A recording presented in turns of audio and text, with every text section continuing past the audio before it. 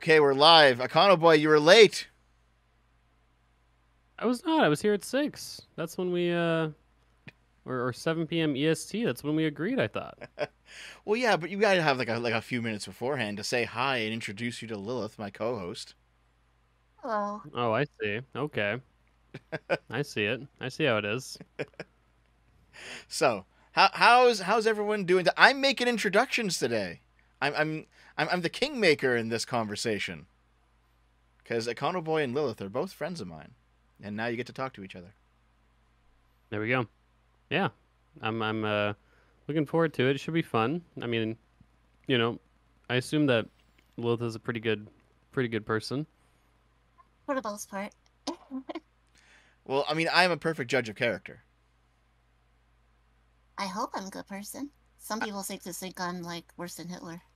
I've heard that a few times. Really? Yeah. Worse than Hitler? Well, yeah, I mean, I, I've heard some people who are on the extreme left call you, call you a fascist because you're a libertarian, and then I've heard some That's people, true. I've heard some people on the right, um, call you a degenerate because you're trans. So, I've heard, I've heard both of it about you. Yeah. yes. Uh, That Hey, tends to be how uh, it works. I heard someone the other day say that basically like right libertarianism is just fascism and I don't I guess I don't understand the argument, right? I mean, I I I I guess if you think like markets are opp- oppressive or something, like I don't I don't know what the you know, I don't know what the argument is. Um Um, I don't know. I'm I'm I'm just a soc dem guy, so I'm I'm the real fascist anyway, so I can give you the argument basically, because I've read some people who are like authoritarian, right? Like like like the neo reactionaries. I've been reading some of their stuff, and the argument is basically that uh, a, a libertarian society cannot function unless it everyone has a buy-in into it, and it's a high trust society. And the best way to get a high trust society out of a low trust society is to purge it of all of the various separate elements. So if you have, for example, an ethnic, an, an ethnically homogenous society, it's much more likely to work on libertarian principles. So, oh, oh god. That's Fucking So in order to f- achieve freedom, you have to uh, first oppress the shit out of everybody and make uh Make everyone the that's same. illegal. yeah, make everyone. Make It's just everyone the funny. same. I've never, I've never heard the argument. People always say that about like left of center ideas. Mhm. Oh well, you know, you can't have a national health system in the U.S. because of you know all the black people and Mexican people that live there, um, which is basically the argument. I've never heard that for libertarianism, but it's nice to know that people, uh, you know, e- every ideology ultimately can be criticized by people that I guess want a more homogenous society, let's say. So right libertarians get a lot of uh lots of hate rep. Uh some of it is deserved, some of it not so much. I feel like the comparison between libertarians and fascists is a bit much. Uh, It's like the whole point of libertarianism is supposed to be for free freedom and liberty. Yeah, And um there are some fascistic elements within the within like the people who call themselves like lib right. Um that's definitely not something to be ignored. But like from like most of the the lib right people I've talked to, they're just like, "Hey, you, I'm cool with whatever." You just like, I, I just don't think it should be illegal. And um, yeah. Most libertarians I meet, they're like just dude weed Lamau, and that's that's that's like the extent of their politics. They just want to be left alone to like get Yeah. high. It's like fair enough. Can't argue with that, you know. and I had a couple of friends to, uh, that don't take my property. Yes. Don't take your house. I had a What's that? couple of friends that went to the Libertarian National Convention in 2016, and I was like, "Oh, what was it like?" And it was a couple of my guy friends, and they were like, "Well, it was like 100% dudes. There were no women at all in the whole like convention. It was Not e- very rare." Not even Asian Um, wives. There's usually Asian wives along for the ride. No, it was like they said the ratio was like 50 to 1. like it was a very small percentage of women and it smelled really like really really like weed. Like everyone was smoking a lot of weed at the Libertarian National Convention in 2016. Oh. I, I understand. I want to like, say it was even no, was on, it even? I think it was in Denver, was it not? I, I want to say it was in like a legal place. No, it wasn't. It was in Florida. Well, apparently these people were illegally smoking marijuana, um, Taste. and nobody cared because the fucking room was like a whole. The whole room was like hotbox, basically, like the whole convention center or whatever. So Hmm, as they should. as they should. So I, I have heard like the inverse argument going from like libertarian socialist to to to I guess the the Stalinist or the the Marxist Leninist or whatever. I've heard that argument, and that one seems to be a bit easier to kind of parse out, where the idea is, you know, if if if you have to redistribute and steal people's property, you're going to have to be a, become authoritarian to do it. And it's like, okay, I, I can see that, but the the libertarian to fascist pipeline is you have to work that one out a little bit more and read some read a few things. But ha- having read some of these crazies on the right, there, man, there, it feels like everyone who's not a liberal right now is just insane. yeah, I mean, um, I guess so. I mean, people people. I guess rightly to some extent call me a liberal because I'm a I'm a left capitalist. You know, I, I, I still think capitalism is a decent enough mode of production, and I but you know I'm not a you know I don't think we should kick all immigrants out of the country and stuff, right? You know, I'm pretty much a standard Democrat. Um, so it, it seems that way sometimes. Um, Listen, I listen. think that the listen. at least- we Oh, need yeah, to pri- we need to privatize ICE, okay? Pure pure yeah. free market, all of it. it. Yes, we'll set out bounties. we'll be we'll be in, we'll be pure bounties. and Bounties, What the fuck? and now? Kapistan. My land. goodness. No, that'd be a terrible idea. I mean, you know, it, I don't know. It seems like, from my perspective as as a Democrat, it seems like the it seems like the Republican Party, and I've seen a couple of studies that have backed this up that the Republican Party has gone like farther to the right than the Democratic Party has gone to the left. Um, I can see that. yeah. and it feels that way uh, on the ground as well. And um, it doesn't really seem like socialists are getting a lot of electoral success in general, right? So, um, Yeah. you know, it's it seems like the the socialists, the online socialists and Marxists, are still pretty well segregated uh, to Twitter Spaces, whereas you know, there's people like Marjorie Taylor Greene and you know Lauren Boebert who are who are actually winning, yeah. you know, winning elections. So the, the, the populists the populists on the right seem to have won their takeover of the GOP. Meanwhile, like the Bernie Bros kind of failed at their populist takeover of, of the Democrats. So I know what you Oh, mean. definitely. And and even like Yeah. even like the like like AOC was a lot more extreme five years ago than she was today. You know, it's like she she's ra- she's like moderated a lot. I think because just there's a there's a general yeah, unpalatability regarding socialist ideas for for regular people. Yeah, I mean, I think that 2020 was a wake up call for a lot of the squad Mm-hmm. um, because 2020 was, I mean, you know, i i like 2018, sure. Um, I think 2018 could be characterized. I think 2018 could be characterized almost more so by anti-Trump sentiment than the actual election where he won, because he wasn't even on the ballot in 2018, right? Yeah. Um, like it seems like 2018, a lot of the midterm route that happened to Republicans was basically like, we don't fucking like Donald Trump, right? And we're gonna vote for Democrats. And um, whereas, um, it and so in 2020, it seemed like there was a lot more like uh, you could say organic potential for the Democratic Party to move, and it seemed like a lot of the ideas that progressive Democrats started espousing, especially when it came to defunding the police, were just wholly unpopular amongst uh, basically most independents and frankly most Democrats. And um, They were that ended up unpopular getting- even amongst black people too. Like, well, yeah, I mean that that as well. I think it was like eighty percent of black people wanted uh, like either the same or more police to patrol their neighborhood, and yeah. Um, and so a lot of you know a lot of Democrats uh, like basically 2020 instead of the Democrats expanding or keeping their sizable lead, it was um, um, but you know they ended up shrinking. I believe that the Democrats ended up having a smaller margin after 2020 than in 2018, and so I mean yeah those those ideas just seemed to really uh Well, basically be 2020, they had liabilities. Trump. They had this Well, that's what I'm saying. Orange man to Yeah, fight like and it, that's what i'm saying and in the future that's why i think that a lot of the more extreme like you know squad type rhetoric has been focused a little bit less so on stuff especially regarding the police like defund the police seemed to die basically right after the 2020 election maybe after 2021 like i don't really hear a lot i don't hear any basically Minneapolis did not. Silver, you fucking ah, Dev, your audience. Why am I watching your chat? Minneapolis did not vote to abolish their police force. They voted against that referendum because what we're saying is that's not. Thanks for the Anyway, money, you're buddy. totally misinformed, Silver.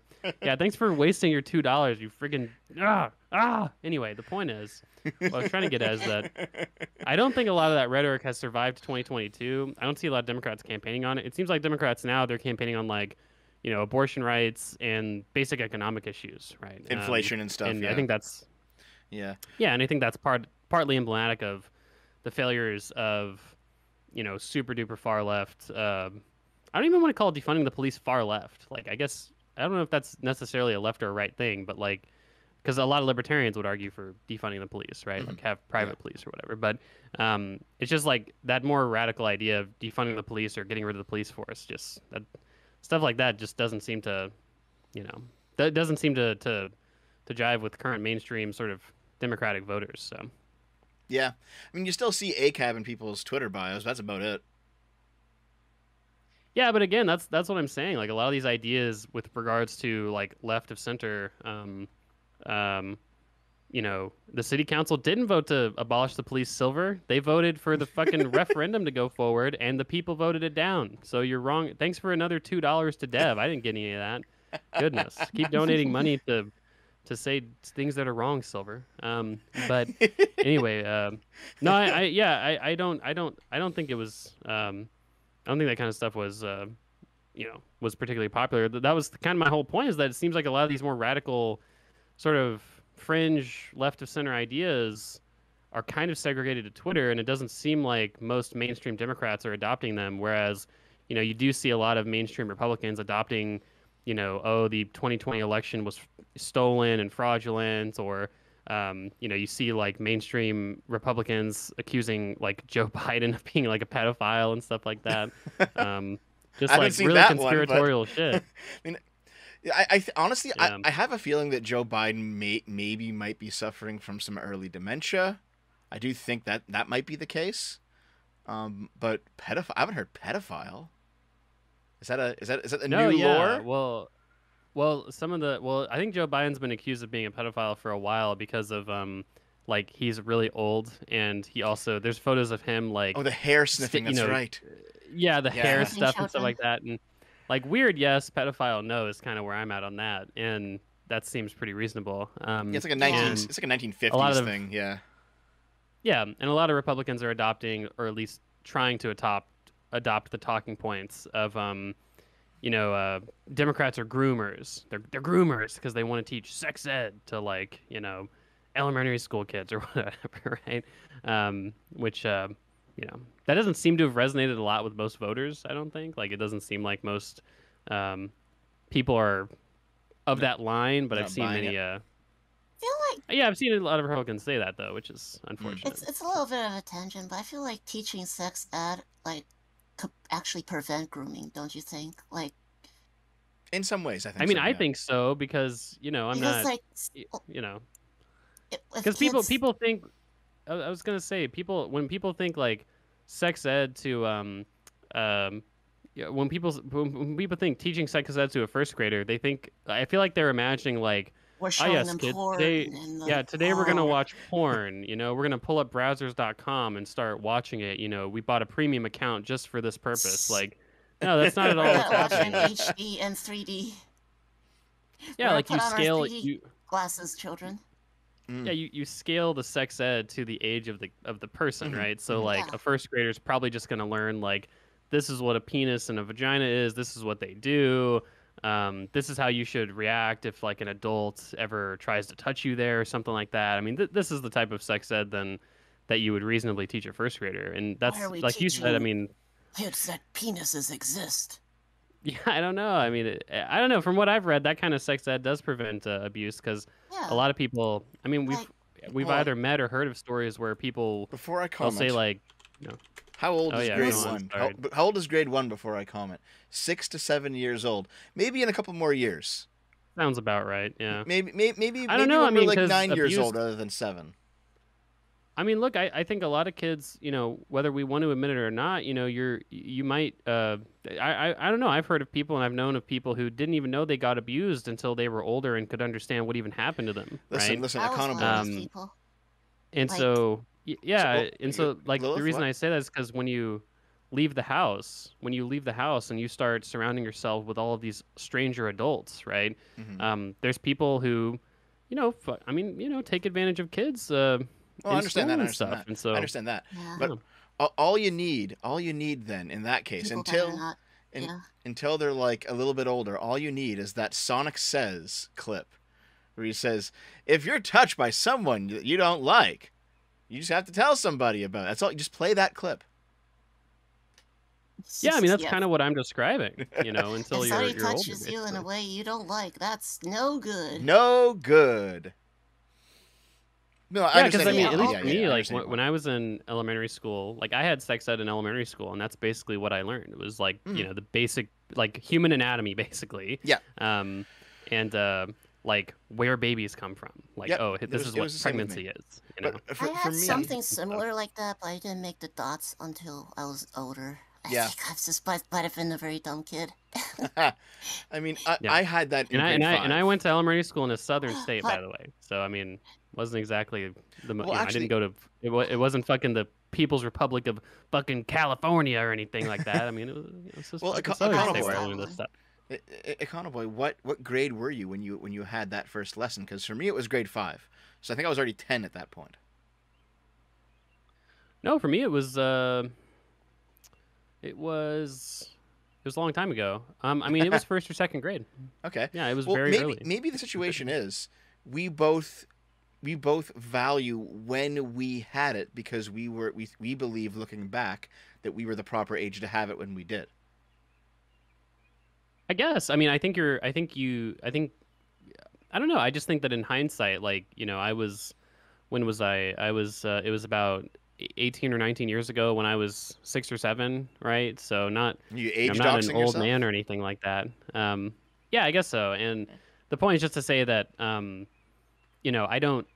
I think most people, if they were to learn basic human anatomy and like what pregnancy is when they were six or seven, and they grow up to be 18 or 19, I just I don't think most people would look back on that and be like, man, that was fucking crazy that I learned that. like that's insane. Like I don't, you know what I mean? Like I if don't you- know. if you're Kids not aren't. if you're not you know. talking about uh, like, your like private parts, and don't let you shouldn't let anybody touch it. yeah Yeah, like, if, if you're I not mean, talking about the go. pleasure of it or like the social implications or like showing some degenerate shit yeah, yeah you're probably pretty much right i think Yeah, I mean that's all. That's all that.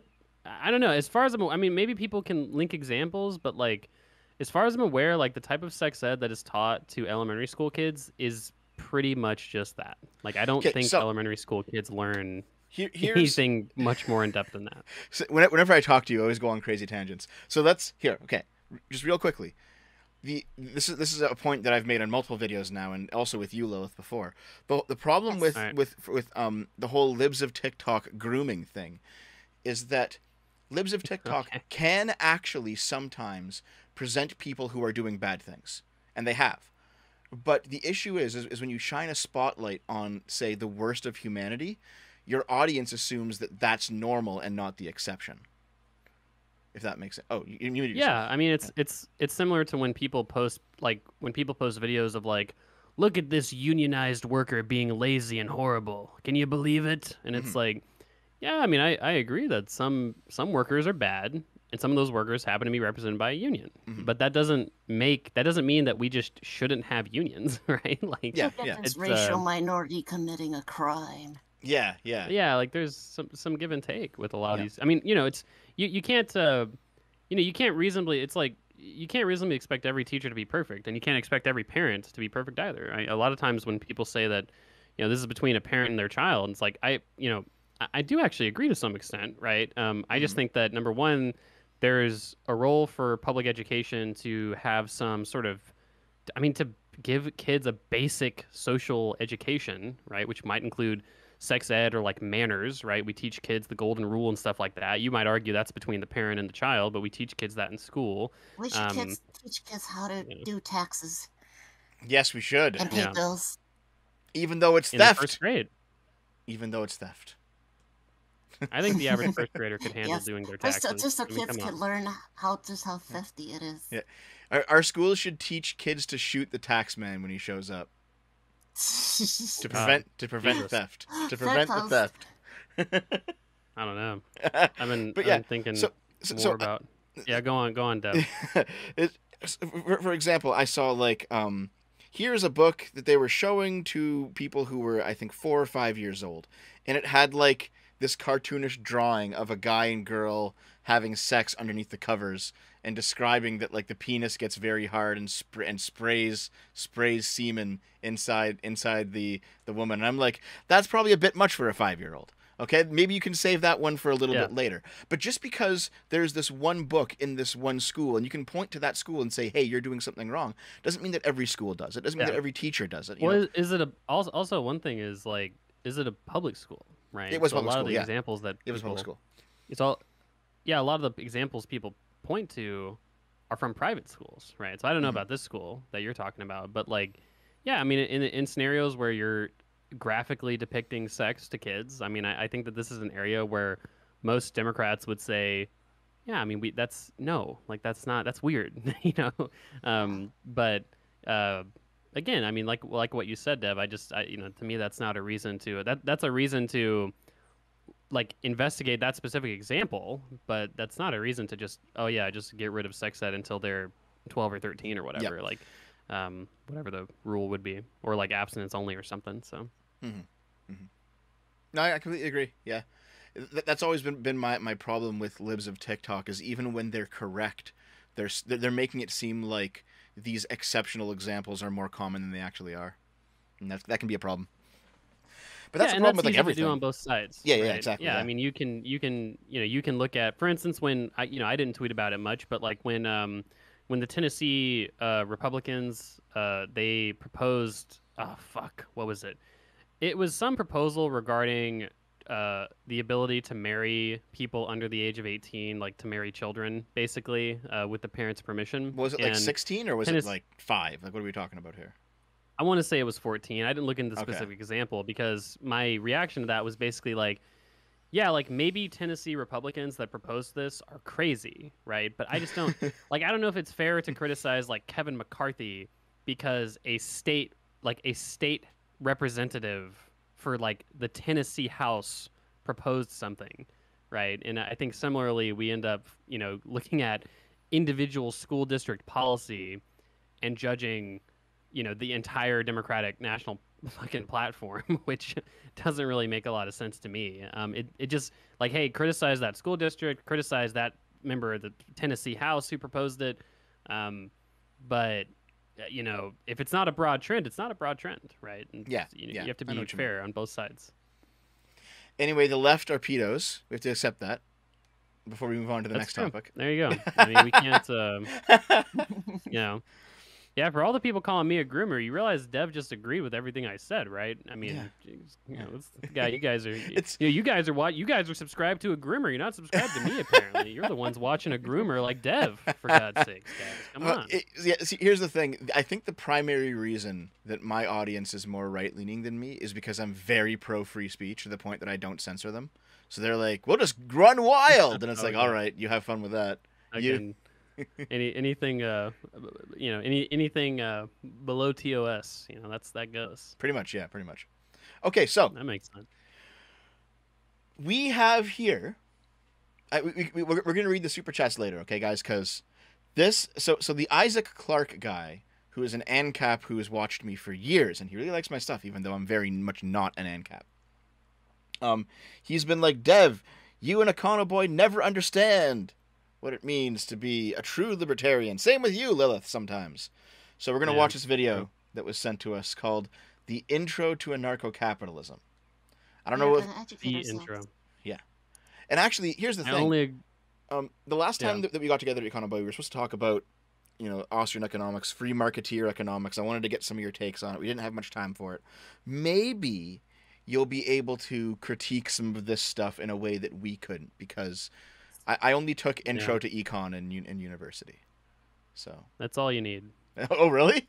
Oh, also, I don't remember any of it. Yeah.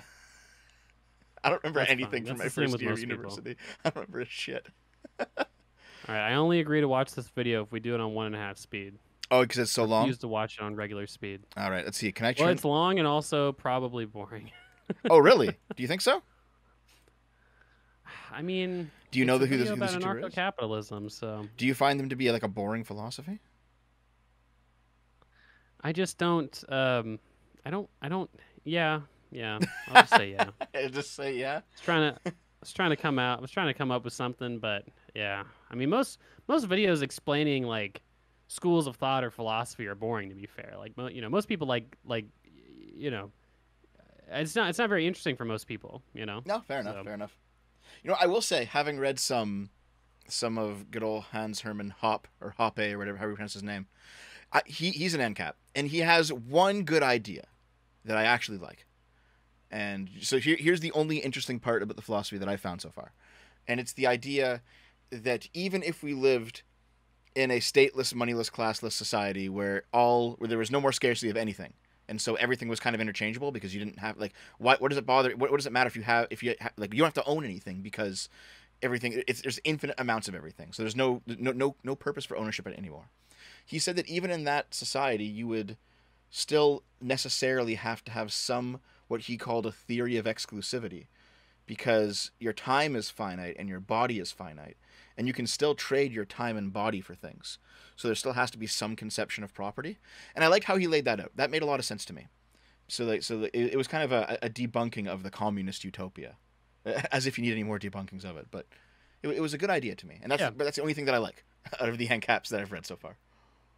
Yeah, I think this will come up here because, um, yeah, I mean, at least ANCAPs would agree that you have to work, right, in our society. Whereas a lot of anarchist leftists or anarchist communists would say, like, We're gonna have the Our replicator goal- from Star Trek. yeah, Magically. I mean, yeah yeah, and to be fair, like, we can imagine societies like that. Like, I've had this conversation, I think, a couple times now with socialists where it's like, you know, well, Econoboi, what happens when AI can literally do all human labor? Like, what then? And it's like, okay, well, at that point, um, we would we would need to do basically completely massive redistribution because, like, you know, the alternative of having a 100% unemployment rate is probably not very sustainable, and in a world where the AI can do everything, we probably don't need to work. Like, I mean, yeah, sure, at that point, like, you know, government distribution of basically, you know, giving everyone a basic income basically makes a lot of sense. Um, but um, y- you We're know, not there yet. we don't we, we don't live in that world. Yeah, exactly. So I mean, it's it's uh, to me, it's not as interesting a, a conversation. Okay so i'm gonna bring the video in will this will this button work All right, let's do it. this button works okay i This said is on is it on one point? W2G. it is hey there's one point maybe i have to like hold on i'm gonna play it just a little bit really Yeah, it works for me. okay Wait, reason? Oh, hey Killian. Wait, how did you get here? Well, I was in my space Oh, station. and While I was in my lab, the particle accelerator switched on, and a rift in space and time opened up. And long story short, I'm here. Oh, I think that might have been me. Sorry. That happens sometimes when I portal somewhere. They hate me at CERN. Hey, no problem. So what are you up to? Well, I was trying to think of something to do, so out of boredom I decided to I can see why you wanted I Try wanted zero to gravity. have There's a speed. lot less i can see why you wanted it Jesus. Yes. So where exactly are we going? If my calculations are correct, when we reach the bottom of this void, it should take us straight to the gayest person that has ever existed in any realm of existence. Oh, to Milo Yiannopoulos or Ted Haggard? We're about to find out. but um bum Oh, this is Dapperton's house. That's so cool, right? Nah, I come in here all the time. I break in every week or so and stock up on stuff. Hey, it's not like there's a 7-Eleven in deep it. space. Doesn't he notice? Ah, he just thinks it's mice. Okay, hold on. Let me just adjust the portal. Ah, fucking mice again. What the fuck? Oh, that thing gives me a hangover. Oh, listen guys, i'm banning up? the guy Wait, who wanted me to watch Let's make a video this to introduce status to the concept of We're, we're gonna get to the Ooh, point I'll get the eventually. camera. Wait, wait, reason. will. Can you portal me back to my space station? I have taqueritos in the microwave. Sure. We're, we're getting some lore, apparently. introduction to anarcho-capitalism Boy. Ba-da-ba. Hello, Okay. boys, girls, and those who sexually identify as a Target shopping cart. I'm Mr. Dapperton. And I am Reason. And I'm Lord Killian, and this is an introduction to anarcho capitalism. Oh boy. Very original joke there. Now, if you've never heard of that term Wow. before, let me elaborate. Anarcho-capitalism is an economic system in which the government does not exist and companies are regulated by the free market while individuals abide by natural law in the form of the non-aggression principle. Aggression refers to initiating force or fraud against true. someone, or uh, otherwise you- you can pause whenever you want if- The hold on, hold on, hold on. state is a group of people who have the Wait. perceived legitimacy You can pause whenever you want if you want to like comment on like any the of it. first thing they say is, you're like, it's just funny that the fucking like the guy, you know, he gives us this video is like, you guys don't understand anarcho-capitalism, and the Mm. first fucking thing this video says is, anarcho-capitalism is when the government doesn't exist. It's like that's not true. Like anarcho-capitalism is when the state doesn't exist. And the difference is that if people want to come together voluntarily and form a government, that's okay. It's voluntary though, right? Like that's Yeah. that's like, like that's the difference. You can opt out. The, fed, the feds Um, won't chase you for taxes. You can opt out of the state if Yeah. you want to. Yeah. But you can, but you can still have government, and like gov- you can have single payer healthcare in an anar- anarchist capitalist society, right? It's just you have to volunteer to participate in that system. Now, there's problems with that, but like, eh, it's just I don't know. I just hate it because a lot of Marxists and anarchists like they'll DM me and you. I'm sure this happens like everyone that talks politics or economics, where it's like uh, MMT too. It's like you just don't understand this, and every fucking single time, I either talk directly to those people or I you know talk back and forth through chat. It's like I, you've only reaffirmed that I actually know exactly like the main parts of this. Like I don't understand why you're saying these things. Fuck. Anyway, all right, And also, I- play it again. Well, well, just really quickly regarding the non-aggression principle, like I think that's actually a fine way to live your life. If you if you know you, you don't attack someone unless you're attacked first, fine, fair enough. But like if you expect an entire society to run on that, with you know millions of people, like you, you have to be out of your mind. There has to be some kind of coercive measure to stop people who don't give a shit and will just run roughshod over you. Yes, there Yeah. has to be some enforcement of property, I think. Yeah, Wow, Lilith believes in government. Can't believe it. Yeah. I, I do. I, I I am sympathetic towards the ANCAPs, but I have um Cringe. I do think uh anarchy is fairly cringe for the most part. Yeah, Lilith, you, you were I think the state's very cringe. I think the state's an evil, but it's a for now a necessary one. Yeah, a necessary evil. I think it's a necessary evil as well in a lot of ways. Um, but yeah, Lilith, you've you've been doing a slow transition from like libertarian to just libtard. So I've I've been transitioning from like right libertarian to just libertarian. Yeah. If if it makes any sense. no, it does. No, Like I'm- I, I, yeah. I'm not I'm I'm way less concerned with like with like um specifically following one group of logic or another. yeah, I know what you mean. Yeah. Whereas um whereas I'm more in favor of taking things on a more individual cases. Hmm. That doesn't mean I'm in that doesn't mean I'm like for redistribution like for example like like no private property or whatever. Right. Yeah. Like you mean like like like a pure collectivized society. Yeah. Yeah, I Yeah. think that's fairly cringe. Okay. Let, let's continue. Let's see what else they have to say. Let's go. Let's do it. Fucking. I'm sorry, Econoboi. Let's keep going, boys. To initiate force over a certain geographical area. Since we don't believe that it's right for anyone to commit acts of aggression, and government is just a bunch of people, then we don't believe the government gets to commit acts of aggression either. Now, I know what you're thinking. Don't we already live in a capitalist society? Well, the answer is no. The society we live in today is called corporatism. You're probably wondering what the difference between corporatism and capitalism is. Well, Let's in a hear it. capitalist society, you get to vote with your dollars. If you don't like what a business is doing, then all you have to do is not support it. And when enough people stop supporting that business, it will go bankrupt. That's called the free market regulating itself. But in a corporatist society, the state decides in part what companies deserve our business through regu- Hold on a second, though. Okay, let's say we have. I'll, I'll give. I'll give the, the the surface level objection to this, and I hope they get to talking about this. But let's just give it really quickly. All right, you have your free market. Okay, you have two competing factories. Factory one decides to cut costs and dump a bunch of sewage into the river, and downstream, a town dies of poisoning. Okay, the free market reacts, and people stop buying their goods from factory one, and they all switch over to factory two, and then factory one goes out of business. Okay, the free market has worked, but the town of the, the, the, the people in the town still died. You, you, didn't- you didn't solve that problem. Yeah, it's not very proactive. Yeah.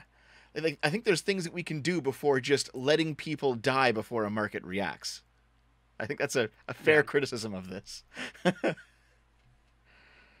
don't disagree. Like, Mm. I think there should be like, even in in um, in a total free market, there should be like you can't put poison in baby formula.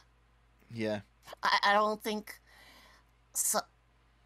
A body, maybe I don't know if if it has to be the state, but like if a if a body if a regulatory body came and said, "Hey, I know you like you like um razor blades a lot, uh, but you cannot include rusty ones in people's products Has to because be people might get people might get diseases and die." has to be only the sharpest ones can go in. No, I, I know what you mean. I know what you mean. I'm it's just joking. I'm joking. I it's know what you an mean. example, but Yeah, still, okay. yes, only the sharpest. All right, let's let's roll. regulation and subsidy, pick winners and losers, and dictate the terms of doing business. Bigger corporations buy power from the government through lobbying and kickbacks to have new regulations put in place that will choke the competition, or as economists call it, regulatory capture, while government uses taxes and central banking to prevent the market regulating itself. When a business is going bankrupt and government bails it out, that is corporatism. That's what America is becoming more and more of a corporatist monstrosity with government exercising more and more control, picking My points about corporatism isn't wrong, though. We do live in a, You think so? a very anti-capitalist and very corporatist uh, society. I mean, maybe in some ways. Like I, I know Obama bailing out too big to fail. That kind of got under everyone's skin back in the day. I, I can see the the argument, but I mean, I think if that were were truly the case in all instances, It's not only that; it's it's the government picking winners and losers when it comes to industry. It comes it's it's them regulating things so as to prevent new competition. It's that type of stuff that's that's a symptom of corporatism. It's anti-free market, if anything. I mean, does the American government do that all that often?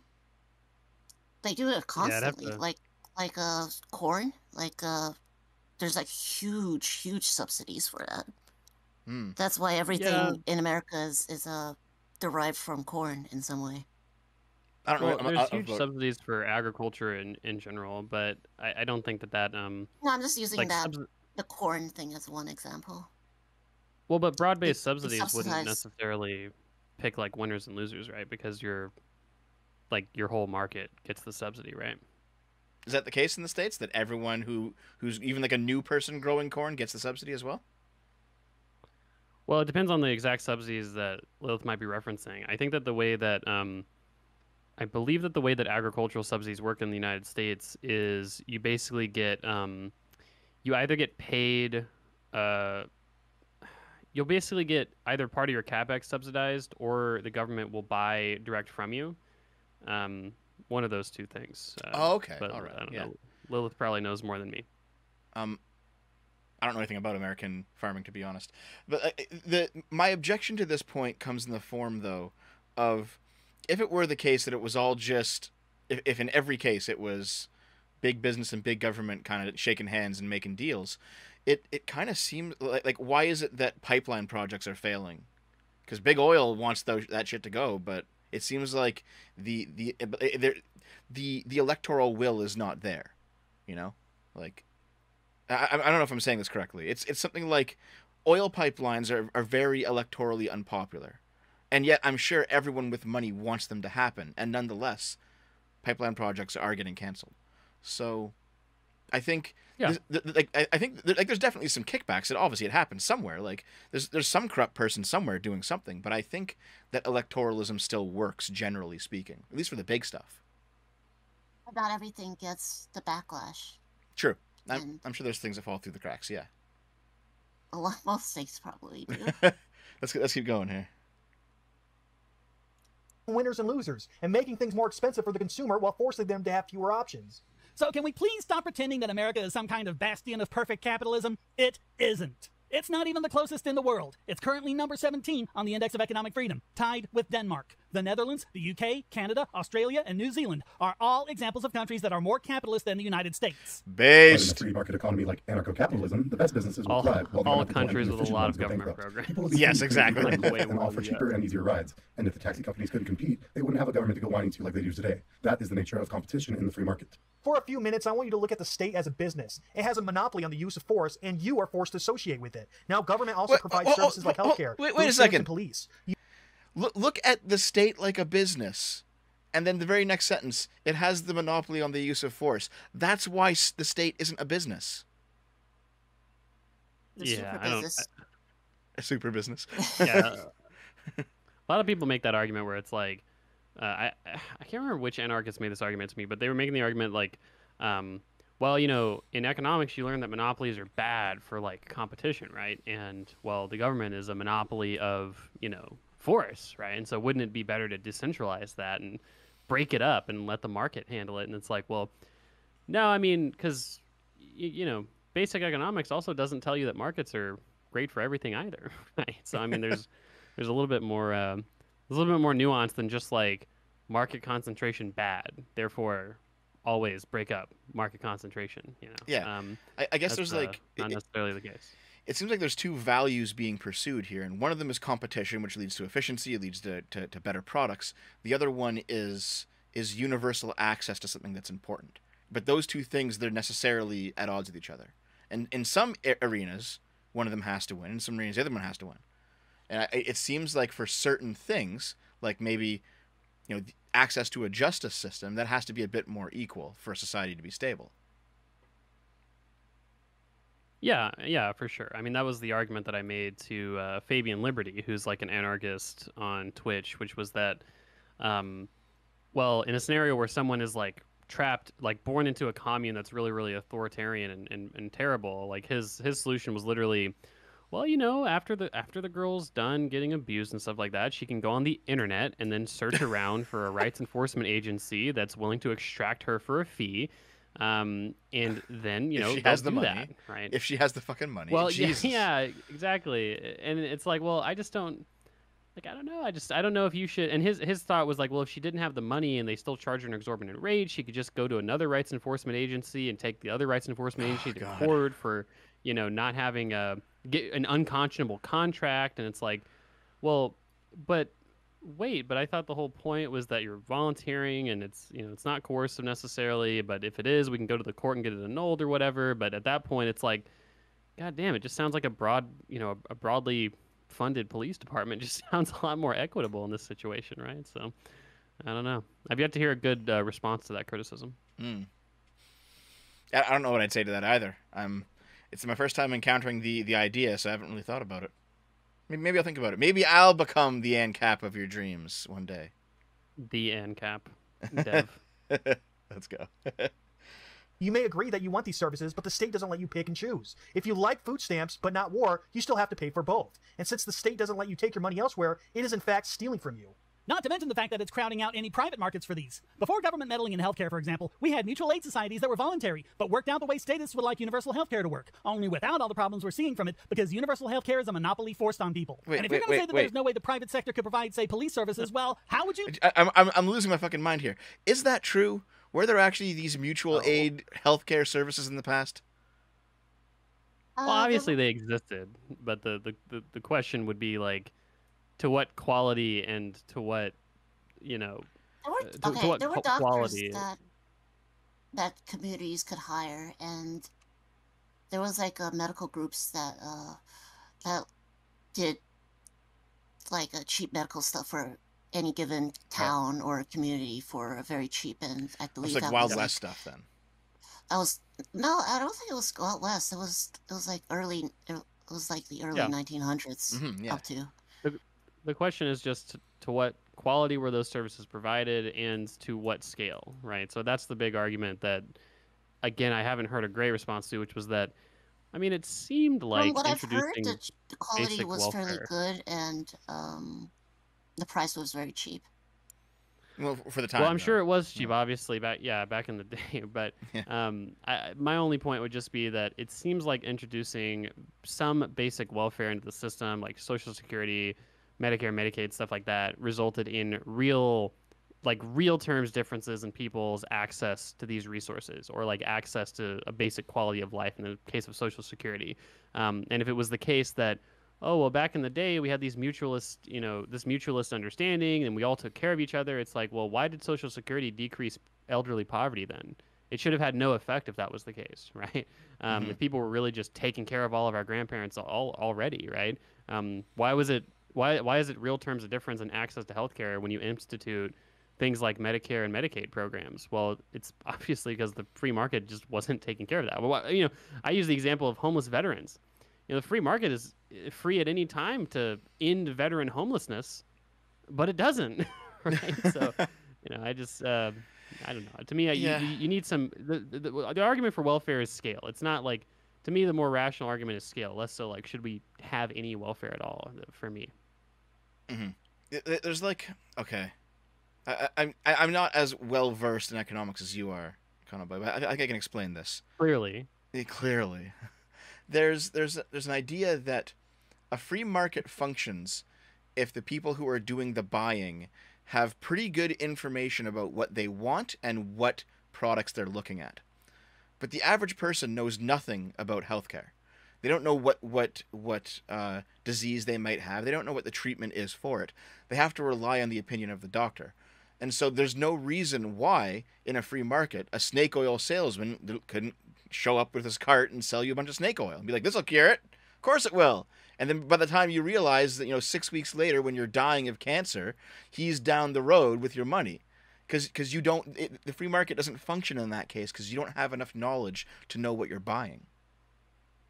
Well, it's not just knowledge. There's also like like kind of like what you said in the in the first place, which was that there's oftentimes there's a time delay in determining the quality of the product with regards to healthcare, right? So if someone prescribes you something and it takes 10 weeks to take effect, you have no idea for that amount of time if this person has screwed you over, if it's the best drug ever. You don't know what the side effects necessarily are. I mean, how many drugs are there like that? Like most of them, right? Most drugs are not like instant acting, right? Um, Mm. And so uh, there's that time delay that exists. That, like you said, you know, your your doctor could be two states away by the time, uh, you know, by the time that happens. Now, the anarchist argument to this would just be that, well, you wouldn't get a prescription from like a new unes- totally unestablished doctor or whatever that is but it's like okay well without a central authority to like certify doctors you're you're you're either in a scenario where you're transitively allowed to gatekeep medical care because you know you don't trust anybody who's a new doctor um, or you have to go purely off of references which you're going to have to trust someone to get that reference um, and uh, at the end of the day you could still be screwed right? Whereas at least you know if i go into a hospital today i'm not i'm not really worried that that doctor is trying actively to screw me over and is bad at their job. Like at the very least i know like hey they went to medical school they went to do school nursing school whatever it is um, and you know the, the, the pills they're prescribing me are you know within reason useful for this disease um, not that corruption in healthcare doesn't happen not that Yeah, kickbacks yeah. aren't a real thing to, but to be fair here. Convoy, there's the whole opiate crisis happening in the states right now that might throw a wrench into that idea. There's a bunch yeah, of people mean, who got, again, got that- prescribed opiates and now they're like just fucked for life.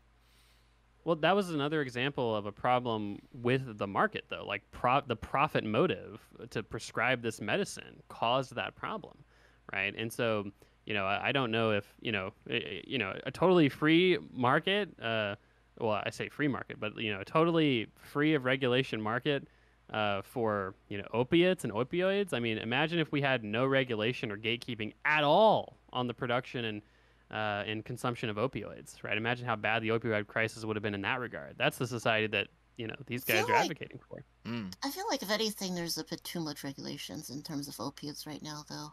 How come? In terms of Oh like, man, in terms no, I in terms really of like patents, in terms of like oh, patent patents, laws. patents. Okay. like uh, for example, insulin.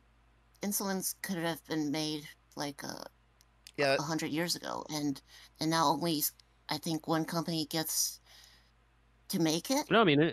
Insulin's an example where the patent actually expired. You know, insulin. There's no closed patent on insulin. Um, the basic patent for insulin has been available for, I want to say decades at this point. Um, it's just that what's happening is that the free market, arguably to some extent because of patent law, um, is investing a ton of money into producing new kinds of insulin that are faster acting, um, or don't you know they're they're they're either faster acting or they require less uh, like less pills per week or whatever it is, or like you know whatever injections, however you end up in taking your insulin, um, and people prefer those. Um, so Okay. patents have their problems, but it's just you know the only point that to to point that out is just to say that um, there are free market solutions that would make healthcare better, and there's government solutions that would make healthcare better, and they're not necessarily mutually exclusive. But the society that the ANCAPs argue for, which is completely and totally free market, I mean,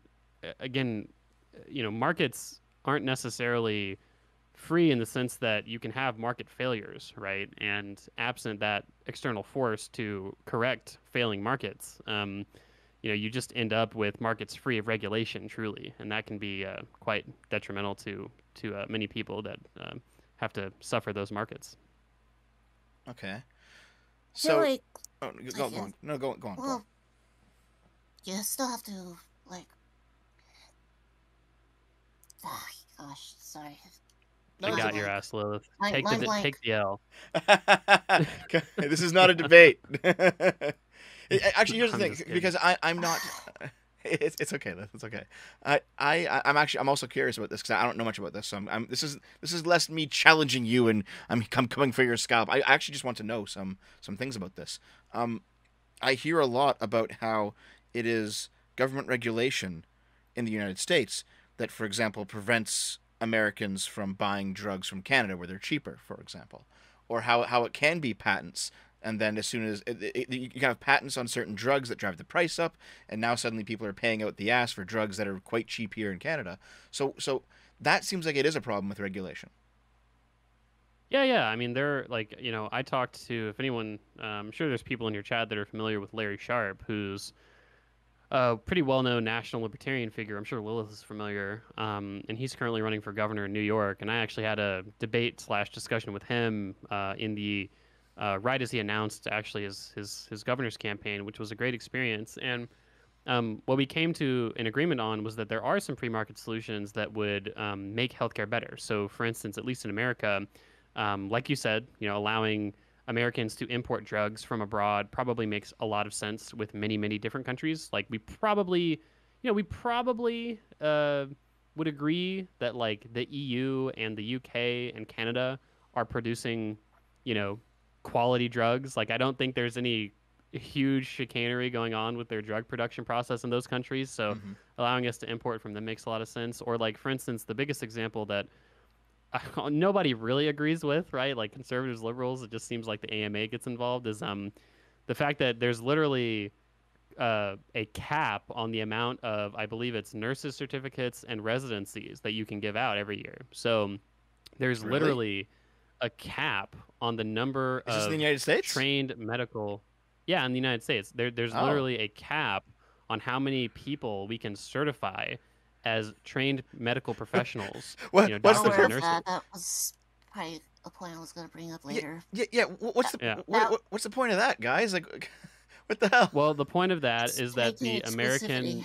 Oh, okay. the American Medical Association has lobbied Congress to say that, you know, on one hand, um, oh, you know, you can't just give a medical degree to anyone. It's like, well, no, but anyone who's earned it, number one, is is where you, who do you give them to, and then number two, it's like, the truth is, it's uh, it's I called it healthcare in India.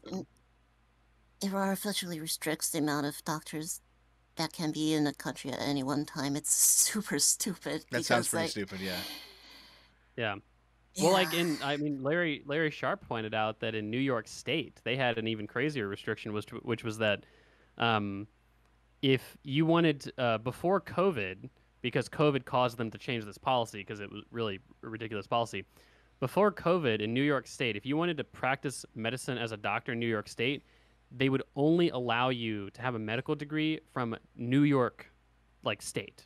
So if you Oh, studied Jesus. medical school in like you know, if you went to the Mayo Clinic to study medicine in Minnesota um, and got your medical degree or whatever from you know there, they you were not allowed to practice medicine in New York State until COVID hit. Um, and I think similarly on a national scale, another free market solution would be that um, similar to drugs, like you know, if you were a doctor that was trained in Sweden, the UK, Canada, like many, probably a couple dozen countries, and you want to move to America, you shouldn't have to redo your residency. You know, if you if you were trained as a doctor in the UK and you've been a doctor for 20 years and then you move to America, you have to redo your residency, which is like the most ridiculous fucking thing. This doctor who's 55 years old has to redo his residency. I mean, that's That's ridiculous. It- We, I assume that we trust the British that they are training their doctors properly. So, Mm. you know, so that's another thing where it just it doesn't, you know, that the free market solutions exist for healthcare. It's just that, you know, the anarchists that would say that, well, the only solutions to the healthcare market are free market based. It's like, well, no, it's not true, right? You know, there's there's a middle ground here that's actually the most optimal uh, solution. That's usually how it is with a lot of things. Anyway, Econoboi, you're you're becoming an ANCAP right before our eyes, man. You're morphing. True, true. No, I mean the truth is, what- you know, what I've told people uh, a lot is that um, deregulate more. Deregulate more. Well, y- no, I mean, you, mo- most, uh, you know, your basic economics is going to teach you that you know monopoly can be bad, and also markets fail, um, and sometimes, you know, sometimes government involvement is uh, is good for people, you know. Mhm. So And sometimes it's not, and sometimes it is. It depends on the situation. just It- it- depends. It's it's Exactly. it's a very like uh, is is the phrase neoclassical is a very neoclassical view of things. It depends. Um, I think that pretty much any economic school of thought is going to tell you it depends a lot. That's just kind of a favorite amongst, uh, Okay, fair enough. you know, most most mean- economics people are going to tell you. I- it I- depends. I, I, w- I would say that there's an exception with socialists. They seem to be very dogmatic in the way that they kind of present their econ. But yeah, I think you're right. Otherwise, well, yeah, that's you know, true. That's the Austrians and like, the as a- and the the neoclassicals yeah. and the Keynesians, they're all kind of like that.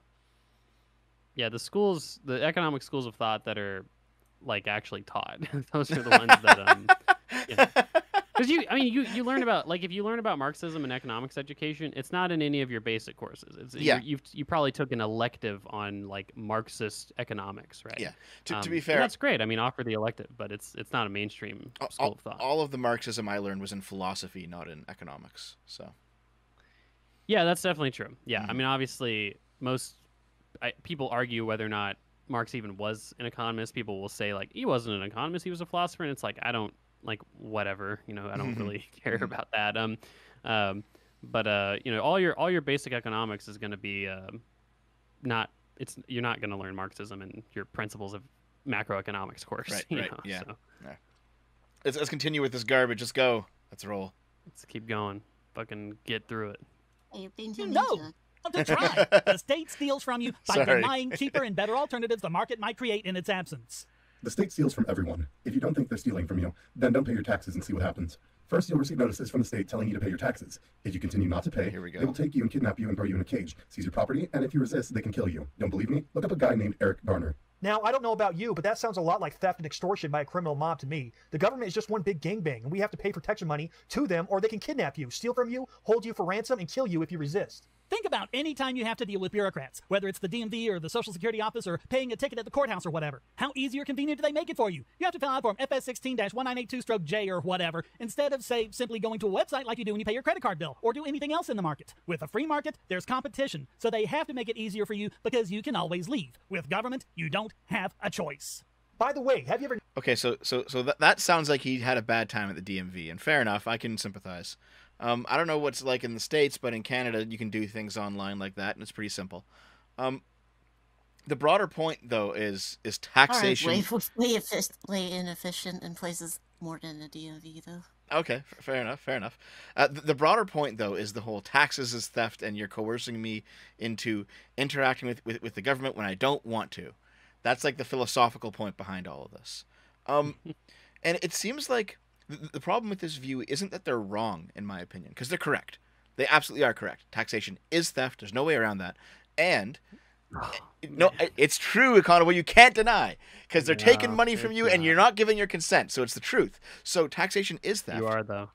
and you are though. and you also Tell do me have what the to paper I signed. y- you do have to, to you you do have to like interact with this entity that you didn't consent to interact with it's like fair enough okay so i can accept the taxation is theft argument but the issue God. is if you're living together in a society we live in a society. If you're living together in a society with other people there's going to be some there has to be some kind of area where like the edges between you and other people meet and navigating that edge is going to be a little bit bumpy because that's what a negotiation is. You have to give a little bit they got to take a little bit and the the the the governmental process seems to smooth that over. Rather than getting into fucking fights with your neighbors constantly when like your neighbor's kid throws the ball over into your yard then you shoot him. You know you can you, you can work these things out in, in a civilized manner. And i i think it you know taxation is theft but it's a better it's better than the alternatives. Like any of the other any of the alternatives make a far worse society. I think so. You, you have to like you have to be willing to accept some level of coercion because there has to be something that keeps people bought into society, and it can't just be carrots. Sometimes it has to be Styx. I don't mean sticks the YouTuber. I mean like like a stick and a carrot. Yeah. Yeah, I don't agree that taxation is theft. I think it's coercive, sure, but not all coercion is theft. Um, that's kind of the stance that I've developed at this point on Oh, okay. taxation. Um, and um, because I just, you know, I think you could. I think you have a stronger argument What's for coercion being with the threat of taking away your rights and freedom should you not comply, though? Well, but rights and It's freedoms it's, are. it's a little bit more than just like, oh, if you don't do this, like, uh, bad things will Yeah. happen. It's it's it's Very bad things will Bad happen. things will happen, and then and then Yeah. your rights will be gone. Well, rights and freedoms are a construct of the state anyway, right? And so, you know, Oh, arguably you could say that you're, well, arguably you could say that you're paying that money uh, partially for those protections anyway. Well, And ho- now, hold on a second now, we- Econoboi. I think that's completely Okay. wrong. No, no, no. Oh, no. Okay, hold on. I, I, I get your point. I get your point. I, I know what you're going to say. I'm, I'm, not, I'm, I'm trying to be rude or anything. It's just that I don't think that, that rights and freedoms are constructs of the state. Yeah. Well, the disagree. Guarant. Well, you could obviously argue that we have some moral, natural right, right? And I, I would Mhm. even agree to some extent with that, right? All that I'm saying is that the only way to guarantee your rights with some stability and validity is with the state, right? You, you know, imagine living that, in yeah. a No, I know, have anarchist. rights. I have rights regardless of the state. The state can only enforce that right or take it away. You could say that you have those rights morally, right? And you could make that argument, but if I'm bigger and stronger than you and we're living in caveman times, I'm Oh, stealing but- your food. Nothing Yeah. but what if about I sharpen a stick and and I get lots of my friends to sharpen their sticks? See, see, see, this That's is my what, point. You'd, you'd, Yeah. you'd have to, you'd have, the, the- you know, you you need a force, uh, a, a body that is willing to, with force, protect and enforce those rights. And you Mhm. could, I mean, to Mhm. me, I'd call that a state, a monopoly of violence, right? Right. So, so, Well, so, so You that, could I think that, start protecting that rights from the individual level, though. It doesn't have to require state. that's why you have guns, like right? it, Yeah, a state yeah, could yeah. help, but like uh, it's not Well, the be yeah, all and end you- all. you Mm-hmm. can always defend yourself, right? All that I'm saying though is that when it comes to like the robust extension of those rights, right, in a, in a stable sort of collective sense, I mean, you you do need a state, right? I mean, unless you want to, you know, unless you want to constantly be digging trenches around your house and building fences and you know stockpiling ammunition, I mean, you're gonna you know, you're probably better off paying that tax to the state to, uh, you know, fund a police force and a military and stuff like that. I mean, Yeah. what I was going to say originally before I was I interrupted choice? by Dev, That- before I was interrupted by Dev and Lilith, was that you could, um, you, I think Sorry, you have a stronger argument that taxation is theft in, a, in an authoritarian society where there's you don't have a democratic input. Um, but you know, we obviously we we all live in. Uh, Mm-hmm. uh, to be fair, Lilith, I don't know where you live, but me, at least Dev and I live in a democracy. She so- lives in California. Yes, it's a suffering. there you go. Hey, so here, here, here's the main reason I objected earlier, Econoboi, and it's because you said that that rights, um, it wasn't rights come from the state, but it was very similar to rights come from the state. What was it? What, what was your exact wording? Well, you rights, right, rights are a construct of the state, right? So Yeah, see- we so if- if that's the case- morally argue that we have some rights, but it's um, ultimately the rights that you're actually given in broader civil society are Mm-hmm. given by the state. So if that's the case, then how can we reasonably say that, for example, China is taking away the rights of the Uyghurs because that because China, the, the the Chinese state has decided they don't have any rights to so a- at all. And if if the state's the source of rights, well, then you can't you can't claim that the rights are being violated. Well, again, we can make reasonable moral arguments, right? All that I'm actually China to me proves my point in the sense that um, I think it was um uh, I think it was Antonin Scalia that once uh, talked about how the Soviet Constitution actually guaranteed many more fundamental rights than the U.S. Constitution. But the reality was is that uh, for the material rights, like the right to housing and healthcare, they didn't really have the infrastructure to guarantee those. And right? Yeah. uh, with regards to the actual, you know, sort of civic freedoms that they had, um, they were for show, right? They didn't really give those to people. Um, and so we can certainly make a, a moral argument that the people of China are being oppressed and they should have more rights than they should. Um, and to me, China proves my point in the sense that, well, obviously, why aren't the people of China living free right now? Well, it's because of the government, right? The government's not allowing them to, right? Oh, sure. No, we, we, agree on that. I think we agree on the fact of the matter. It's just that I the, the problem that I have with seeing this the state as as the legitimate source of rights rather than say our common humanity is that if the state's the source, then the state can say, well, you don't have them, then you can't complain. You know, you can't say that their rights are being violated. That that's a phrase that doesn't make sense if if the Chinese state is the source of their rights. But it, it, it is yeah, a phrase. maybe, yeah, it is a phrase that maybe, makes sense Maybe if you. construct. Yeah, it, yeah, maybe construct yeah, I think you know what I mean. doesn't make as much sense. Yeah, yeah, maybe the construct of the state doesn't make as much sense as like um, you know, the best enforcer of rights is the state. To me, that would be maybe maybe that's a cleaner. Um, Yeah, and I agree with that phrase, actually completely. um, that, that the best enforcer yeah. of rights I mean, is the the, best state. yeah. because uh, cer- certainly the best way to guarantee rights too. is the Mm. is a state. So we, we've we've reached a we've we've yet again reached a moderation in our We in our position. Common so, ground. the common state ground, there we is, go. is not originator of rights. It's a the enforcer of of It can, yeah, enforcer. it, but it it can be though the originator of rights, right? It can, uh, you know, the state Well- can extend rights. Well, to hold on. N- now we're talking can. about positive versus negative rights. That's a whole But fucking can of worms. That's a whole. It is the state that determines what is a right or not. Or, or maybe in- maybe in the that state determines case. what's they're gonna enf- what they're gonna enforce. You know, but but I, I do know I do generally Yeah, agree what with you. what they're going to guarantee basically. Yeah. Yeah. Yeah. So, so this this is this is kind of the the problem that I have with the whole stateless ideas because you can have a world without a government, and then you have various rights, and it's like, well, what are you gonna do? You're are you, are you gonna turn your house into a fortress? Well, you can. You can set up turrets, and you can build a wall, and you can have a moat, and you can, you know, you can have you can, you can have lava pouring out the sides. You can sit you, you can sit there and guard guard your house with your gun all day long, and you have that right. You have the right to do so. But how productive are you? Like, what else are you doing with your life at that point? The answer is nothing. And if everyone's just pointing their guns at each other because someone might come and steal something from you, your society is going to collapse because no one's actually doing anything productive. So, there's this, this is where I talk about like a I- I've I've talked about in in the past about high and low trust societies where you have a very poor society that still is prosperous, at least relatively prosperous, because they have high trust. And so, if you don't have to worry about you know your neighbor mugging you because there's at least some kind of social buy-in. That's going to be part, and, and part of the social buy-in is going to be the carrot. Part of going to be the stick. But you have the social buy-in such that you know that your neighbor's not going to steal your stuff when you go out of your house. You can go to work and actually have a job and then build an economy. So that's that's why I think a state's important. You just have to keep it restrained. There we go. We're never going to finish this video. No, we're not. But you know what? These are interesting conversations anyway. I'm, I'm you know what? I'm having fun. tangents. Yeah, I'm having fun. I'm having fun talking to you two. You're both my friend, and that's the most important part. Yay. Let's keep going, I guess. Keep Let's it keep going. going. Let's do it. Keep it going. Notice that when you do, that there's no good place to park because all the good spaces are reserved for bureaucrats, judges, clerks, supervisors, or whatever. When was the last time you saw Walmart do that? Walmart tells their people to park in faraway spots and leave the prime spots for customers. Because if they don't, you might go to Target or somewhere else. But again, the courthouse or the DMV or Social Security office doesn't have to worry about that. That's why it's such a bear doing something simple like renewing your driver's license. You have to fill out a bunch of forms, take them to different places, go to a special place to take your picture, and wait for it to show up in the mail. If that were done by a free market company, it you that could do all bad? online or with a smartphone app. In the you just States? log in, pay with your credit card, take your picture, and then they'll give you a tracking number so you know when to expect it. Um, if Amazon were in charge of it, that's how it would happen because they have to worry about competition, but your state bureaucrats don't.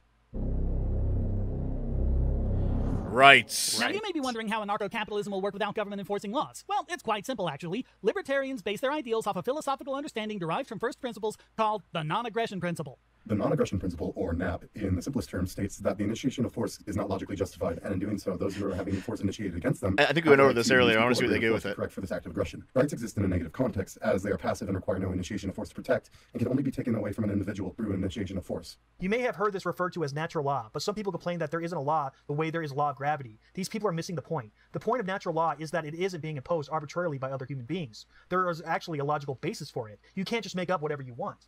A lot of times, people will come back with some example or other and want to know how you can determine who is in the wrong using the NAP. They do come up with some cases that are difficult, but there are also cases that will be difficult in any system. Sorry, just sounds Just because you come up with a scenario where it's difficult to tell who it was that initiated the force doesn't mean that whoever did so wasn't in the wrong. Problems of investigation are not problems of principle.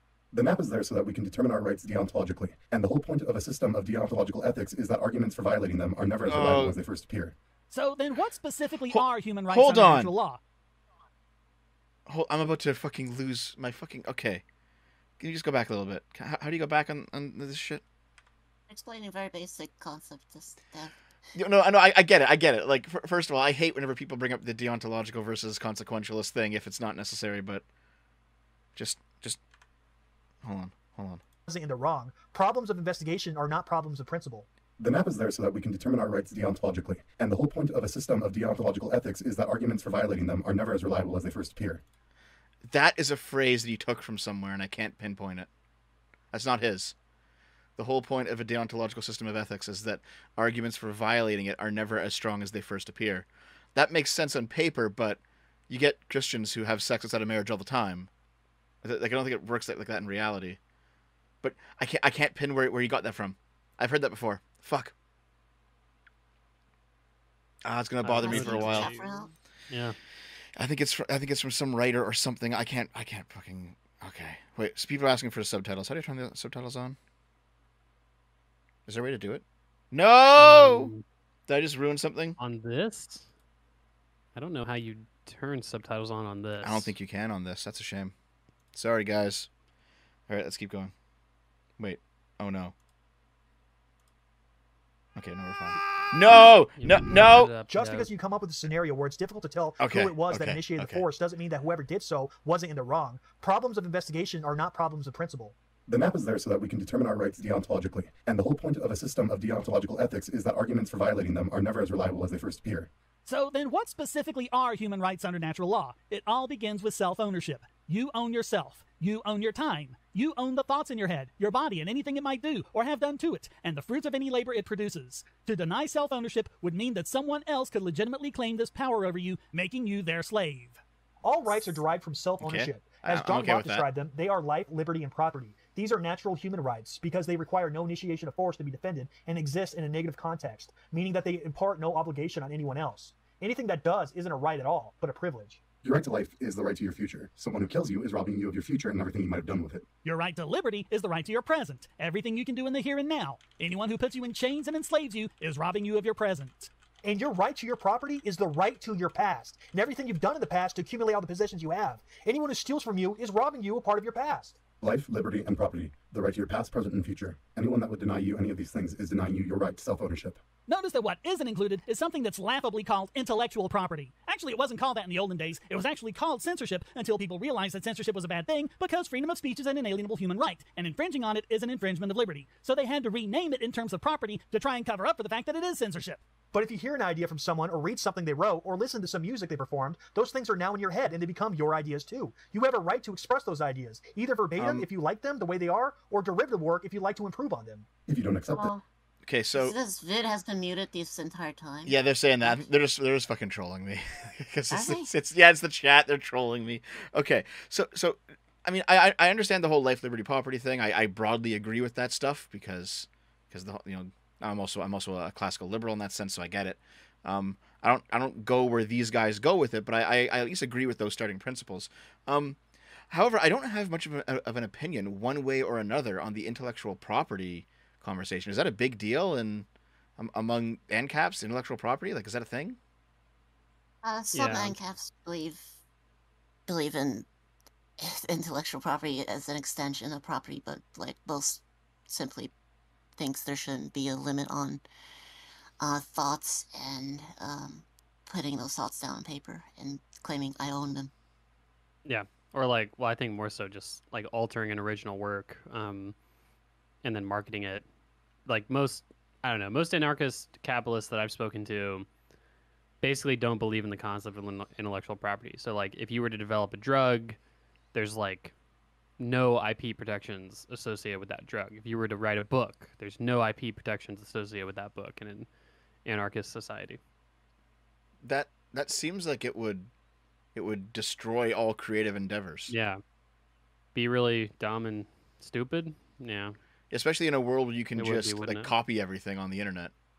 I th- definitely think copyrights, current copyright right laws should be way, way less restrictive, though. Um, I mean, Yeah, but maybe I again, think it's, you know, the, the, it's right now the copyright laws are, are a product of Walt Disney Company and, and Disney these, reaching from the all these grave. big lobbyists. I I know Yeah, but mean. that- I mean, like, that- hey, that's a- that's another example where, like, you know, we can agree that uh, you know, maybe the, the those laws should be liberalized to some extent, but you know, the argument that uh, you know, they just shouldn't exist at all it seems pretty destructive. Yeah, It I should be deregulated. oh entirely no more copyright law. Is that where you are, Lilith? I said it should be deregulated, not the entire. Maybe not not the whole thing. I Hmm. said some. No, I, I, I, think understand. having understand, some yeah. intellectual property is okay, but like, I, I do let's feel. say I invent, let's say I invent a product that can, um, um, let's say I invent a product, and then oh, I don't want anybody to just like be able to copy what I made Mhm. and be like, hey, I bet this is product but shinier, and then I get no, no money out of it. I yeah, yeah. I, I think I think when it comes to copyright law, like you, you see Disney Dis, Disney having like huge extensions on their various works, and that seems kind of ridiculous in my opinion. You should be able to remix some of those old movies at this point. But I mean, there should be some level of protection. Maybe maybe not quite as is, what is it, what is it now? Like when the person dies plus seventy years, it's probably a little bit much. That, that, that seems like it's a little bit much. Yeah, I actually uh, some of Disney's originals are coming up for copyright expiration. Like um, uh, Mickey Mouse, I think, is about to come into public domain, domain which is like their main Yeah. their main person. So Are, are they Um, reing but yet? Or Well, I mean, the truth is, it's it seems like whenever like a major, um, it seems like whenever a major work is about to come up into public domain, it seems like they just fucking rewrite the law and then extend the the date again. yeah, I'm not a um, fan of that. But I don't know. I don't really. I don't know. This is supposed to happen in 24 with Mickey Mouse, so I don't. I don't really. Uh, I guess I don't expect that to happen anytime. I, I don't. I don't imagine this will be a legislative priority for the more than likely split Congress in 2024. So Yeah, they're we'll not gonna. see though. things are going crazy politically as it is. They're not going to give a shit about that. I don't think. Um. Okay, let's let's continue then. this and you think intellectual property is a form of actual property, then really you need to answer one question. How can you enforce it without initiating force? Real property rights only require defensive force against those who would take the property away. But if you write a song and someone else is merely singing it, how could you stop them without committing aggression against them? Accept this and you think intellectual property is a form of actual property, then really you need to answer one question. How can you enforce it without initiating force? Real property rights only require the defensive truth? force against those who would take the property away. But if you write a song and someone else is merely singing it, how could you stop them without committing aggression against them? Okay, hold on a second. Is it actually the case? Well, what that... if you sing that? What if, what if you sing that same song, and you market it to millions of people taking your their work and Yeah, profiting off of it? you turn that song into a CD that you then sell. Yeah. The, the, the argument and without credit. that. hmm And it's just like I feel like there has Yeah. to be a balance between that. Yeah, I don't, I don't, I don't know if I, if I, if I, if I like this guy's opinion either. I, here's me take being a, a boring centrist again. That's what I'm known for, I guess. I look at me disagreeing with the ANCAPs. I'm So let's answer some of the common libertarian. arguments that statists have against anarcho-capitalism. But first, let's define statism. Since anarcho-capitalism is the consistent application of the non-aggression principle, a statist is someone who thinks that there is at least one issue somewhere where the initiation of force is justified. In other words, they think that force should be initiated if it's for something they agree with. Whoever would be initiating that force is a state, and generally they're given authority to do so over a certain geographical area. And statists will generally defend it on the basis of good intentions, focusing on that instead of the actual Ah. results of the policy they're promoting. But intentions don't matter, only actions and their consequences. One of the common arguments that- we get from that's- statists is, well, who will build the roads if there isn't a government? Wait, hold on. Okay, Oh my god, I, I, I'm having a fucking seizure. Like, Are you okay, Dev? I, I feel like every like five words I have a new objection. I'm just like, what? But, uh, Power through it, Dev. Econoboi. Yeah. I've I've seen on your channel you've debated a lot of like ANCAPs. How do you do it? Well, um, you know, well, honestly, most of the ANCAPs that I've debated have um, not made such, you know, simplistic arguments, right? I mean, at least the, type of ANCAP that's like the rights rights enforcement agency ANCAP, at least they can kick out of a lot of stuff, right? Where it's like, oh, you know, how do you um, how do you pave the roads and like they would just say, well, you know, your your uh, well, not your rights enforcement agency, but they would just say like, oh, well, your community would get together and do this or that, and you know whatnot. But I guess maybe you could say that uh, this person wouldn't necessarily disagree with that, but I don't know. This this seems like one of the more like um, everyone should live in the woods by themselves kind of ANCAP. It's like, so like it's like homesteading ANCAPs basically. The entire society just homesteaders, something like that. yeah. I mean, that's kind of what it seems like. Maybe maybe there'll be more um, depth in the Yeah, latter like- the, the latter half of the video. He, he he said something like like consequences matter and it's like well hold on didn't you just say that you were that you were doing deontological ethics on this which is the opposite of that and then he oh god i, I don't want to rewind it but there were like i was i was like i was having like a new question and it was like it's a simple obvious question every few seconds i was just uh You could slow down the video if you. Are you putting them on? No, I want to get I I, I, want to get through it. I'm I'm just keeping it on one. I, mean, I can watch videos on three times speed, but because I, I I got that giga brain going on, but we're doing 1.5. Let's go. The nice thing about this is it doesn't take consumer needs into mind. Along with that, the needs of businesses. To make it simple, if there were two supermarkets and one had a road to it and the other did not, which one would you go to? I know I would rather use a road than risk busting up my vehicle. The answer is right there. Competition is what makes this argument ridiculous, as there's a profit incentive to have a road that lets you get to that business. And if there are multiple businesses, they can pool their funds to make a larger interconnected road that would allow consumers to reach their businesses and buy the products. But let's think about something. Wait a minute. What have government roads been but one massive Wait, why would you fund a road for? Why would you fund a road for your your your your your competition? Why would it be interconnected? Why wouldn't everyone just have their own road? You wouldn't, Dev.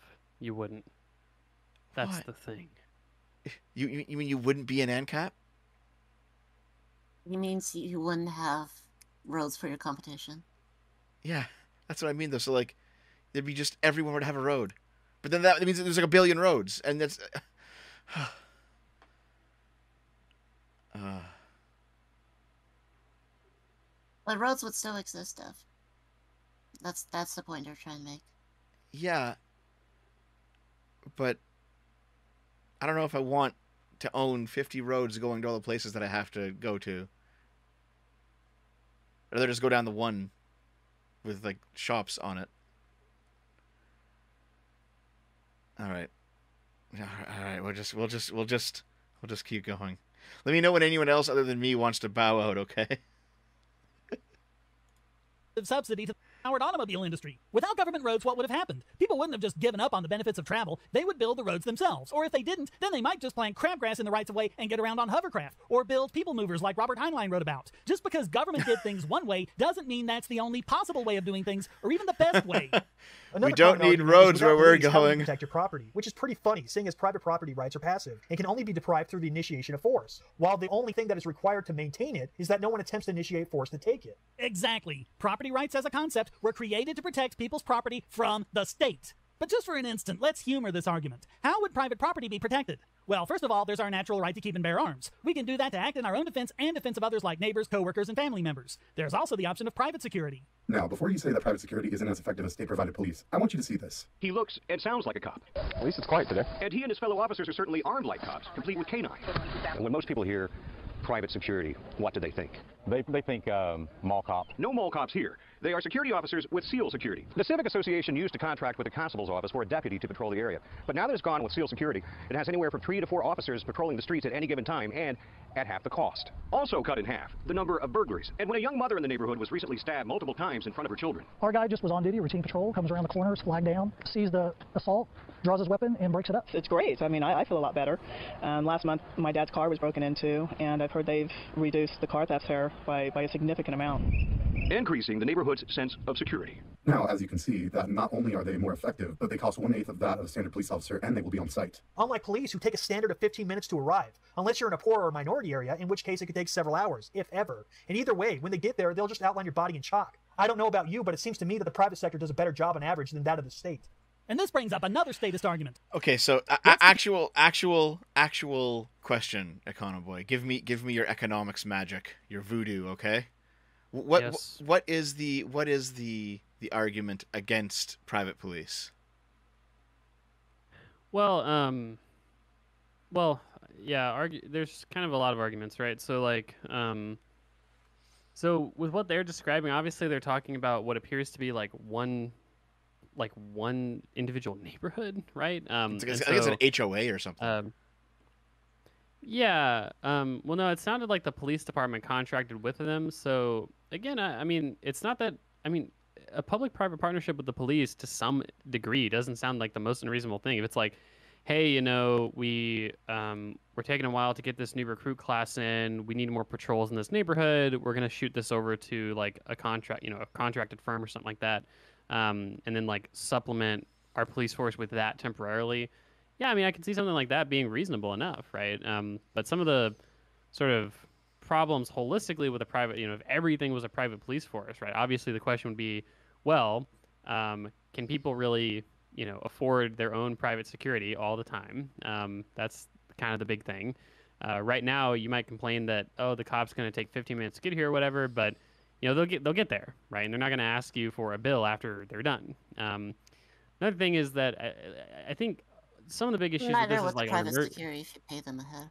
though. yeah, but you, you still Well, pay them though. You yeah, still but, pay like, them. Yeah. yeah, you also you have to pay taxes too, well, though. There's like- still taxes, like so. I don't know if that's that's an argument necessarily because the money's going well, from you somewhere. taxes, you know. yeah, but it's usually those taxes are progressive and it's a fully collectivized funding. Whereas you're under the scenario where you have to hire your own private sort of police firm or bodyguard, uh, you're sort of uh, well, you're you're bearing the full brunt of that yourself on a headcount basis, right? And that's certainly not quite as equitable as a progressively funded police force. So Hmm. yeah. There's also problems with police force, as we see currently. Oh, God, like, yeah.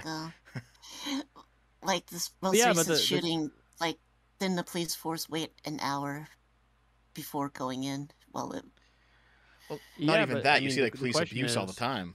You know. No, of course you do. But the, the question is, you know, would you rather those police be accountable to, you know, a, a democratic structure or just the market, right? Just the corporation they might work for. Um, so that's kind of the question. I think that, uh, for me at least, I think that there's ways to. I feel like uh, if if a police, private police, in a scenario, if they were there was like an active shooter and they weren't doing their jobs for an entire hour, as a corporate structure would probably be incentivized to sack them rather than let them keep the jobs. well, I don't know if a because they're corporate not- because structure would not doing their jobs. incentivize. Hmm. Well, sure. On one hand, you could say that, but on the other hand, you could say that you know I've invested a lot of money in this employee, and I might not want them to you know take the risk of getting in a shootout with some criminal, right? You know, they might tend to stay farther back from that conflict otherwise, right? That might be more corporate policy, um, and so it just And our kind people of can, can can take a look at your private security firm and be like, hey, so why why do we even hire them if they don't if they won't even put themselves at risk? Let's Well, hire prob- some other private security firm. Well, yeah, but the issue is that we we are assuming that relative we're assuming that there's no geographic inequalities either, right? So like um, one of the issues that I can see is kind of like a uh, not like a well, yeah, I mean kind of like a market for lemons problem, right? Where like um, you you've got this dichotomy between like the most dangerous areas also often being the poorest, and so you know the basically the security Um, firms they want to offer more service to higher income neighborhoods because one they're able to pay. Two that's way less expensive to actually enforce the law. Um, and three it's just less dangerous right? Um, and so now What you've got the a market for scenario where like problem? poor- the market for lemons problem is the uh, well it, it has to do basically what it's trying to point out is the argument um, of um, market in market asymmetry in terms of information so uh, Okay. it has to do with used cars like that's the example so the basically the, the concept is that Oh, I thought you meant actual um, lemons, like like absent- the fruit. okay. yeah, yeah. Sorry, so go like, on, go on. uh, absent any regulation or any sort of disclosure requirements, um, you're in the market for a used car, right? Mhm. Um, and you're also like selling your used car, let's say. Now, say that you're selling your used car, right? You're either going to charge a high price or a low price for it. Well, if it's a if you know for a fact it's a quality car, you're going to charge a high price for it. Um, however, say that you're in the market for a used car to buy one. Well, you probably offer a middle ground between the high price and the low price because you don't know if this is a quality used car or not. If it's a high price, if it's a low price car and they're charging a high price for it, you're going to offer a middle ground because you don't want to be ripped off. Um, now, the problem with this is that it's always rational to basically never accept an offer for a car that people are willing to sell to you because the only people that would accept a middling offer between a high price and a low priced used car are the people that are selling low priced cars because the people with quality cars are never going to accept a middling offer. And so eventually all the nice used cars are going to exit the market. The only, you know, basically the only product left is lemons. It's only crappy used cars that are left, um, absent any sort Okay. of disclosure or transparency requirements. And so similarly, when we think about private police, um, you know, the again the areas with the most crime tend to be the areas that are the poorest. Um, and so you've got the poorest people who need the police the most, who are the least able to pay for them, and so um, they're also the most expensive to police. So they have to pay more than wealthy people would have to. Um, they'd be more expensive to find. There'd be less people probably offering the service to them, um, and they'd have the least ability to pay. Uh, and so, those to me are the big problems with like all of the police being private. I mean, that's the big problem, really. It's uh, like you Okay, I said originally, think I it's an equity problem. Yeah. Well, I'm not for all the police being private either. I'm just pointing out how there's there's validity to criticizing the current police force that we have. Oh, and yeah. what they do. There, there's some problems there for sure. I mean, at some point, I feel like maybe private security would do better for less if, if they had access Well, yeah, to uh, force the same force that again, the like police we, force does. you know, it sounds like we, you know, we can agree that there might be some scenarios where like augmenting, you know, augmenting police presence with, not augmenting, but like supplementing police presence with some private contractors can make some sense. Um, it's just that ultimately that private contractor is still going to be accountable to the rules and regulations surrounding the police force, and the police force broadly is, you know, democratically accountable. Which you know, to me, that's uh, for me, that's that's uh, really important. So. Are they even that accountable though? Uh, all there's all these cops who do horrible shit, and then they get paid pensions and like golden parachutes. That does seem to be well, a yeah. I, yeah. I get what you're saying. Again, it's it's not a perfect system that we have today for a few reasons, but uh, my only argument would be that the accountability associated with a um, well, the accountability associated with a private police force is either worse or non-existent because you just won't be offered the service or you won't be able to afford it, and so that's kind of the the, the big the big issue with a totally private police force, which um, you know none of us agree with anyway. It's just the the ANCAP uh, argument is basically using a you know apparently one specific neighborhood to justify entirely dismantling a system. It's a pretty middle class neighborhood too. Like it's it's a suburb. But I, I I guess I know what you mean 'cause- because there's a lot of there's been a lot of problems um or at least, at least a lot of light shined on problems regarding police discretion and people you know it, it seems like the case when you know a cop blows someone away who's innocent and then they go to court five years later when no one's paying attention anymore and the judge rules like oh well you know, you, there, you, there, there, there's certain ways in the united states. I forget the name of the law but basically it's the idea that police can very easily get off from using force, get off of legal ramifications from using force. All they have to do is pre- prove that they believed that they thought that it was necessary, which is kind of bullshit sometimes. Yeah. And so there's there's like there's that whole discussion, but you know at least there's the possibility of of through the democratic to, through the democratic process changing that law, if if we need to change it. It, it seems like right, the ability to be proactive, like you Mhm. described earlier, right? Whereas in in the scenario where you're screwed over by a private police officer, you know, you could, in theory, you could sue the company, you could sue the private police officer, but you know, at the end of the day, that's a pretty tall order, and without a collective, you know, democratic apparatus to surround the police department, uh, you can probably imagine a lot of, um, just like I said, a lot of inequities in that system. You know, I do not imagine that if if the whole police force was private why would there ever be a police force that patrolled the poorest, most crime ridden areas? Because they're not going to be able to pay for it, and it's going to be the most expensive to patrol. Mhm. like, why would that service ever be offered? Oh It's- God! I mean, it's the same thing. Like, So- someone in the chat just said you would have kneeled on him too, Dev. Jesus. No. I also wouldn't have given him the fentanyl. Fuck you. All right, let's keep let's keep going. Let's keep going. Let's do Keep it. one person using a lot of guns or hiring mercenaries and waging war and taking over everything. First of all, it's going to cost a lot of money to do so, so whoever tries will be at an economic disadvantage. You'd also need to hope against hope when no one finds out God, I what you're up to, which fucking will be difficult as people notice that you don't have much money and that gun sales are going up all of a sudden. And what happens if you do manage to get all those guns? You're going to be dealing with an armed populace. Each and every door you kick down is likely to have an armed. God, I'm sorry. Let's just. I'm gonna pause. Just that argument triggered me more and more. The only thing I'll say on it is, Okay. well, people won't go to war because war is expensive. Uh, yeah, let's just ignore the thousands of years of colonialism that happened. Uh, they must have just been all stupid and not realized that you could go to war for a profit. I mean, ah, yes, all all colonial countries were made poorer because of their colonialism, both explicit and implicit. Uh, yes, that makes that's a perfectly historical fact. That no, of course not. Fucking war is well. You could argue war is net wealth destroying in the sense that if we had a freer, more democratic and sort of um, you know cooperative society, that we would have higher wealth than a world without you know colonialism and when wars and stuff like that. But war is profitable for some people, right? That's why war happens. That's why slavery happens Well, that's not the only Um, reason why war happens. I mean, there are there are there are non-economic no, reasons I, to go to it's war. not the only reason. I'm just saying that you know you, there's a moral case that many argument to people will make for certain war, though. but it's just you know obviously you know uh, we can argue that slave economies, like for instance, some economists will say that slave economies are inefficient and they're wealth destroying, but the reality is they make wealth for some people and just destroy a lot of wealth for other people. Right, and that's yeah. why people own slaves when you were allowed to. So, you Mm-hmm. know, the colonialism is the same thing. Obviously, in this society, you'd still have war, probably to arguably a greater degree than we have now. So, Do you want to say something, Lilith? Oh, well, I had a thought. I'm really bad at keeping thoughts. Sometimes when, people just keep talking and I have to process new information. It's my it's my medication I'm taking. It's, it's, uh, anyways, I'm not gonna go into too too much details. I blame universal health care for this.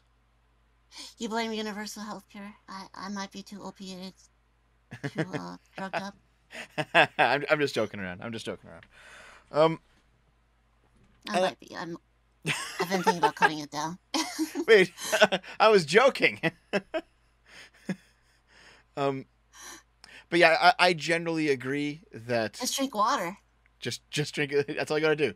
Just just just uh, just drink water and you know eat organic food. It'll solve every problem you have. Eat organic food. Eat raw meat like Jordan Peterson. I don't think he eats raw meat. I think he just eats only meat. He eats like he eats like organs and stuff, eh? He like fries liver. I, this is some weird, like, I think he's on, on some weird meat, meat only diet. Yeah. I think the raw meat's only a meme.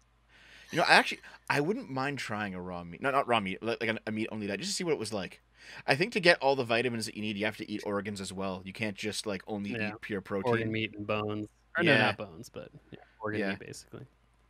Yeah, might be But, fun. oh, right, I remember my point. I was Oh. gonna make. Um, like, um, the counter argument to, like, the wars actually being profitable aspect. I think their point would probably be that it's not profitable on an individual scale, or it's not as profitable. Like, you have to convince an entire nation to go to war. Like, uh, and only certain people profit from it. I think mean, like war uh, war, war profiteering works a lot better under the apparatus of a state than without it. Yeah, I mean, war, war on an individual scale is just basically just individual conflict, right? And I, I think I would say the same thing, which is that like, you know, we could argue that me going into your house and stealing your, you know, washing machine or something is like net, like a net economic drain because you Why have is to like, the example? you know. Well, I'm just saying, like you know, that, No, I- I get it, I get it, know, just a funny. net economic drain because you have to like work extra hours or like you've had unproductive labor now at this point, and the washing machine is like lower quality because I've just had to steal it and this, you know, stuff like that. But it was profitable for me because I fucking got a washing machine for free. So I mean, um, it's a it's a similar argument, right? Why does anyone rob anyone else, right? It's because it's uh, profitable you for for them to do trying so. take it. Well, yeah, I mean, you It'll can be very you know, costly for that- you. Mm. but that's a priced in cost of any sort of robbery or conflict like if i'm if i'm robbing your house i know that obviously there's a chance you wake up in the middle of the night and like you know shoot me and kill me and similarly if, if i go to war with you uh, i mean i'm assuming you're not just going to do nothing about it, right? So I mean, that's uh that's usually priced in whenever someone makes the decision to to rob someone or uh, you know you know co- co- colonize uh, another people. Yeah, you can make a rational calculation on that. I think you can be like, well, you know, there's a certain Yeah. percentage chance that I'm going to get shot and die, but there's another percentage chance that I'll get away with whatever I get away with. So you can like see if you want to roll the dice on that. You can like, you you can you can kind of figure that kind of stuff out. And I ah, guess All right, like let's keep it going. yeah, sorry, sorry, sorry. homeowner be on the other side of it. You'd be outnumbered and outgunned. And what's going to happen once a bunch of your mercenaries get killed? The rest are going to say it's not worth it and just go home. Of course, in all of these different scenarios, we're assuming the criminal survives his attempt. But remember, people have the right to keep and bear arms, and enough of them will exercise that right that any criminal would be taking a big chance. Not even a mass shooter would have much of an opportunity. A guy named Davi Barker did a study of over 100 mass shootings and found that when the shooter was stopped by police, the average number of people killed was 14.29. But when stopped by an armed citizen, that number dropped to 1.8. So maybe now you understand why Is mass that real? killings pretty much only happen in that a real gun-free number? zones. The fact is, you'd have to be 20 miles south of stupid to try something like that in an anarcho-capitalist society. Something else we get over and over again is who would help the poor? But the fact is, government just doesn't do that good of a job at helping the poor. Before the welfare state, the poverty rate was dropping like a stone, and the poor enjoyed huge amounts of upward mobility. The poor in one year were pretty much different people than the poor the next year, who were pretty much immigrants, young people, and other new entrants into the workforce. But Johnson's so-called Great Society, with his wonderful welfare program, stopped that in its tracks. The poverty rate is now a pretty consistent 15%, and we've also seen the destruction of a lot of private charities for the poor, including free clinics and charity hospitals.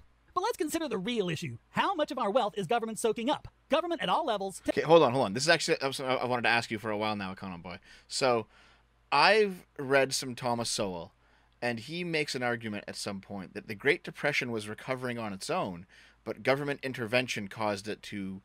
The, was it was it the the New Deal or whatever caused it to basically go Yep. a lot longer than it than it should have.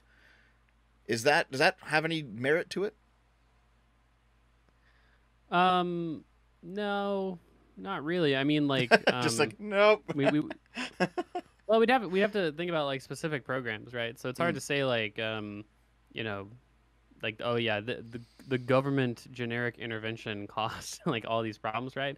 Um, you know, if anything, people argue the opposite end that the government didn't go far enough in during the Great Depression because during the Great Depression, uh, the central bank actually decided that um, they didn't want to inject liquidity into the market in order to save financial institutions from the Great Depression, and 5,000 banks ended up, you know, basically closing and going bankrupt. Now you could say, hey, that's a good thing. These banks weren't, you know, collateralized enough. They made too many risky investments and they closed down, right? That's the free market. Now the trouble is that all that depositor money before FDIC insurance was gone. Like there were so many people, like just regular everyday people that were fucked, right? Um, because they, you know, entrusted their money to those institutions, and so um, those were, um, you know, that exacerbated the Great Depression, if anything. But you know, stuff like Social Security, the Ten- uh, I don't know if the Tennessee Valley Authority was a uh, New Deal artifact, but you know, basically like huge investments in infrastructure, Social Security. I mean, these are things that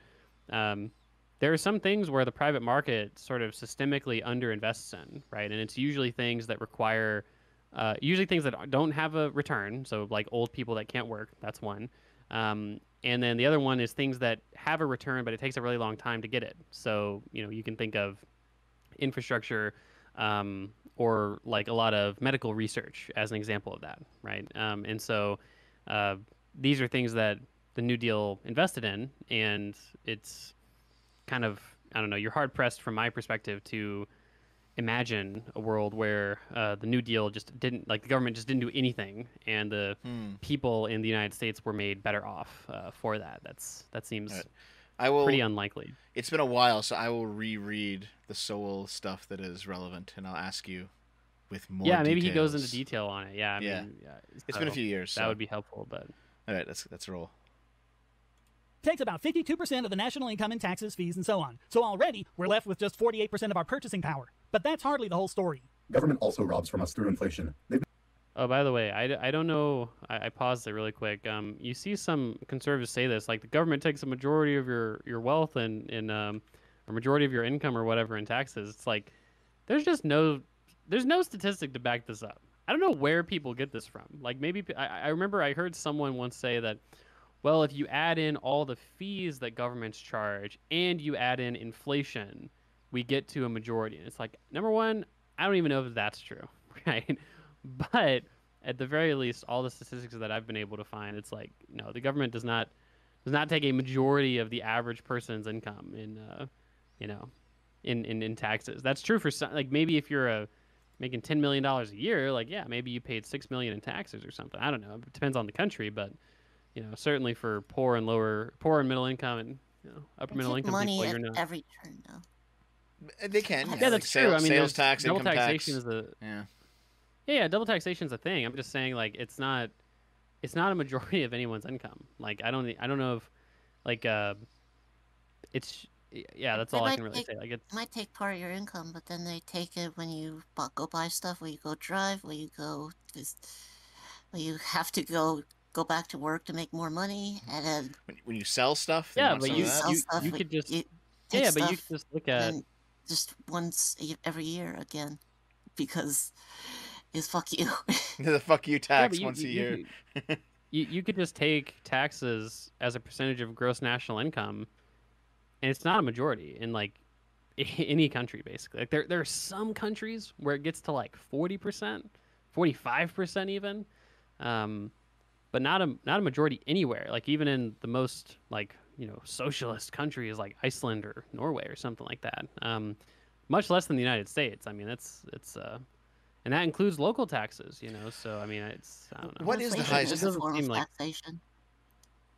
It's no, it's not. I mean, but even It- if you it- include inflation, it doesn't. It doesn't count. I think You know, inflation does- still is kind of a reach form of taxation. I think it is. But I, I, like, what what is the highest bracket in the United States? It's like 30, 50, Yeah, 40? 37, 37? Yeah, 37 percent. Yeah. that's, that's a lot of taxes, though. Jesus, Jesus Christ. Well, thirty-seven percent income tax, but you don't pay you don't pay payroll tax at that bracket, right? So your Oh, you payroll don't? tax is only up. Well, your your Social Security contribution is only up to I think one hundred forty thousand a year, and so every dollar after one hundred forty thousand, you don't pay any payroll tax on it. You don't you don't pay any. Uh, I'm, I keep on saying payroll tax. You don't pay any Social Security tax on it. Oh, okay. um, All right. And so, you know, you you uh you you- and uh, to be fair, I don't think that's how it should be. I think you should pay, you know. No, Social Econoboi, no. Every goddamn dollar you make. But Absolutely um, not. Cringe. but at the same time though, I just um, you know, in America, it, America is a, a, a relatively lower tax country compared to many other developed countries in the world and um, no, we don't certainly in America, not even close to a majority of your income is is paid in taxation. Okay, all right. Maybe they're just buying a lot of high tax goods or something. I don't know.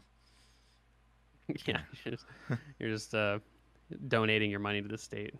We've been doing it continuously since the Federal Reserve was created, such that a dollar is now only worth 4% of what it was then. But let's not go back that far. In fact, let's actually skip the 70s, since that was very much an unusual situation. So let's go all the way to 1988, the last year of the Reagan era, when the economy was doing pretty good.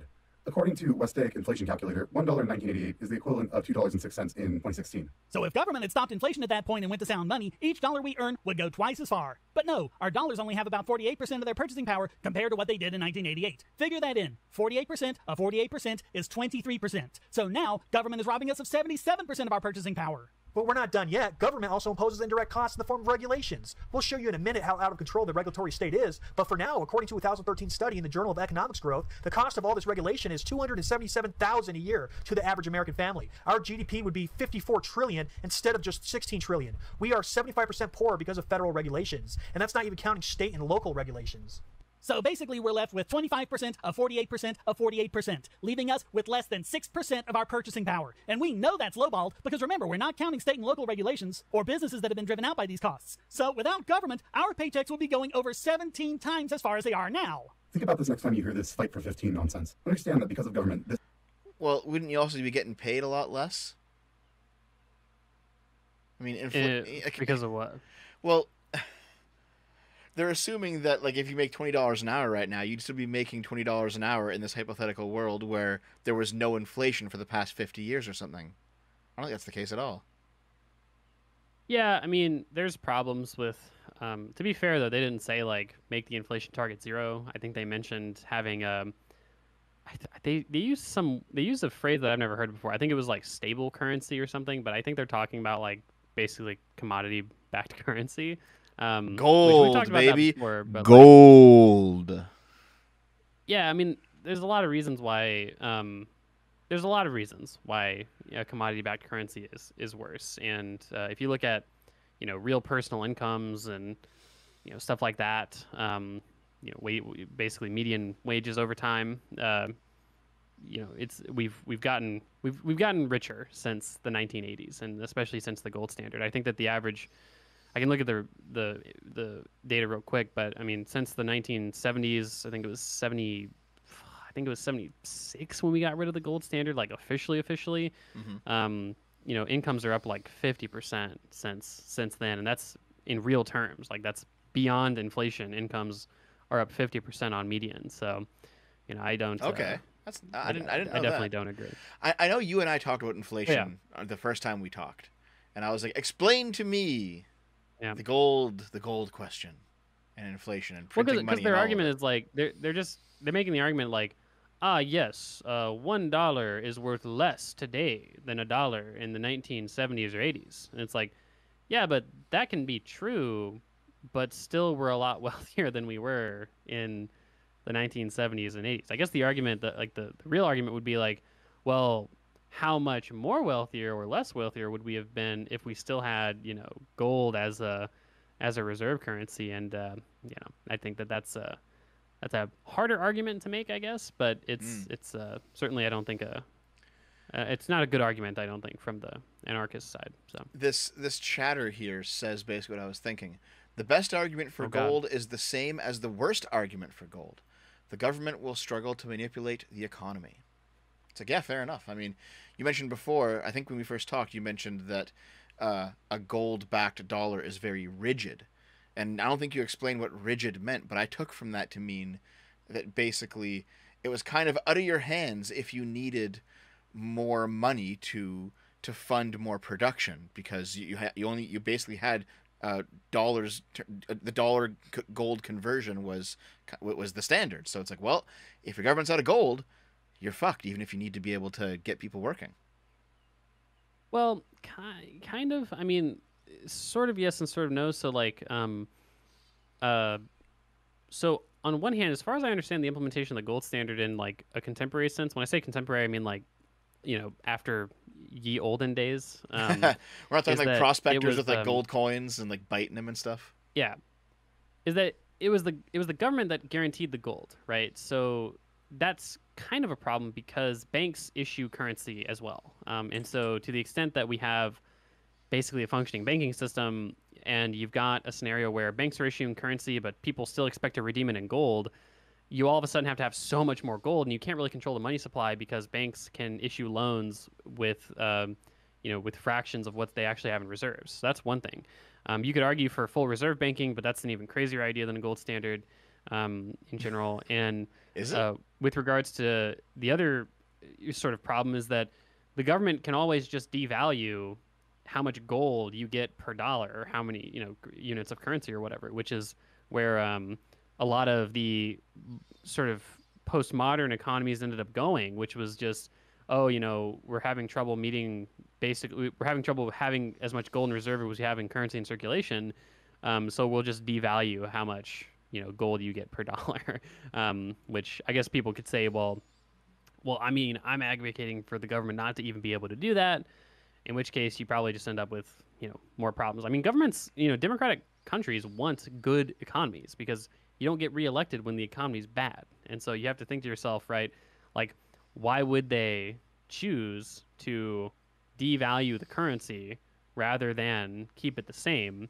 if it was truly better for the economy in all instances. And it's i don't know I just uh, you know i don't think it's a big banking conspiracy. I just think uh, you know it's it's better for the economy to have a fiat currency. You know i don't think all the countries in the world are dumb. I think they do it because it's uh, provides more flexibility and it's um, easier to weather recessions when you have a fiat currency and you can you know more quickly and effectively inject money into the system. But then I that I leads to further devaluation. Well, it does, but devaluation is only as relevant as your real incomes are going up or down, right? So, uh, if you have a scenario where you can control inflation with a fiat currency uh, to where it's low and stable, which you know has been the case for basically the last 40 years up until this supply chain crisis, which you know give them a little bit of credit on that. Um, and you've got a scenario where real incomes are rising, you know, beyond inflation, then I don't really see what the problem is. I mean, the only sort of external effect of that is that you have more fiscal space, right? The so you problem can with that is that income rarely rises as fast as the, the cost of living, or the cost of everything else.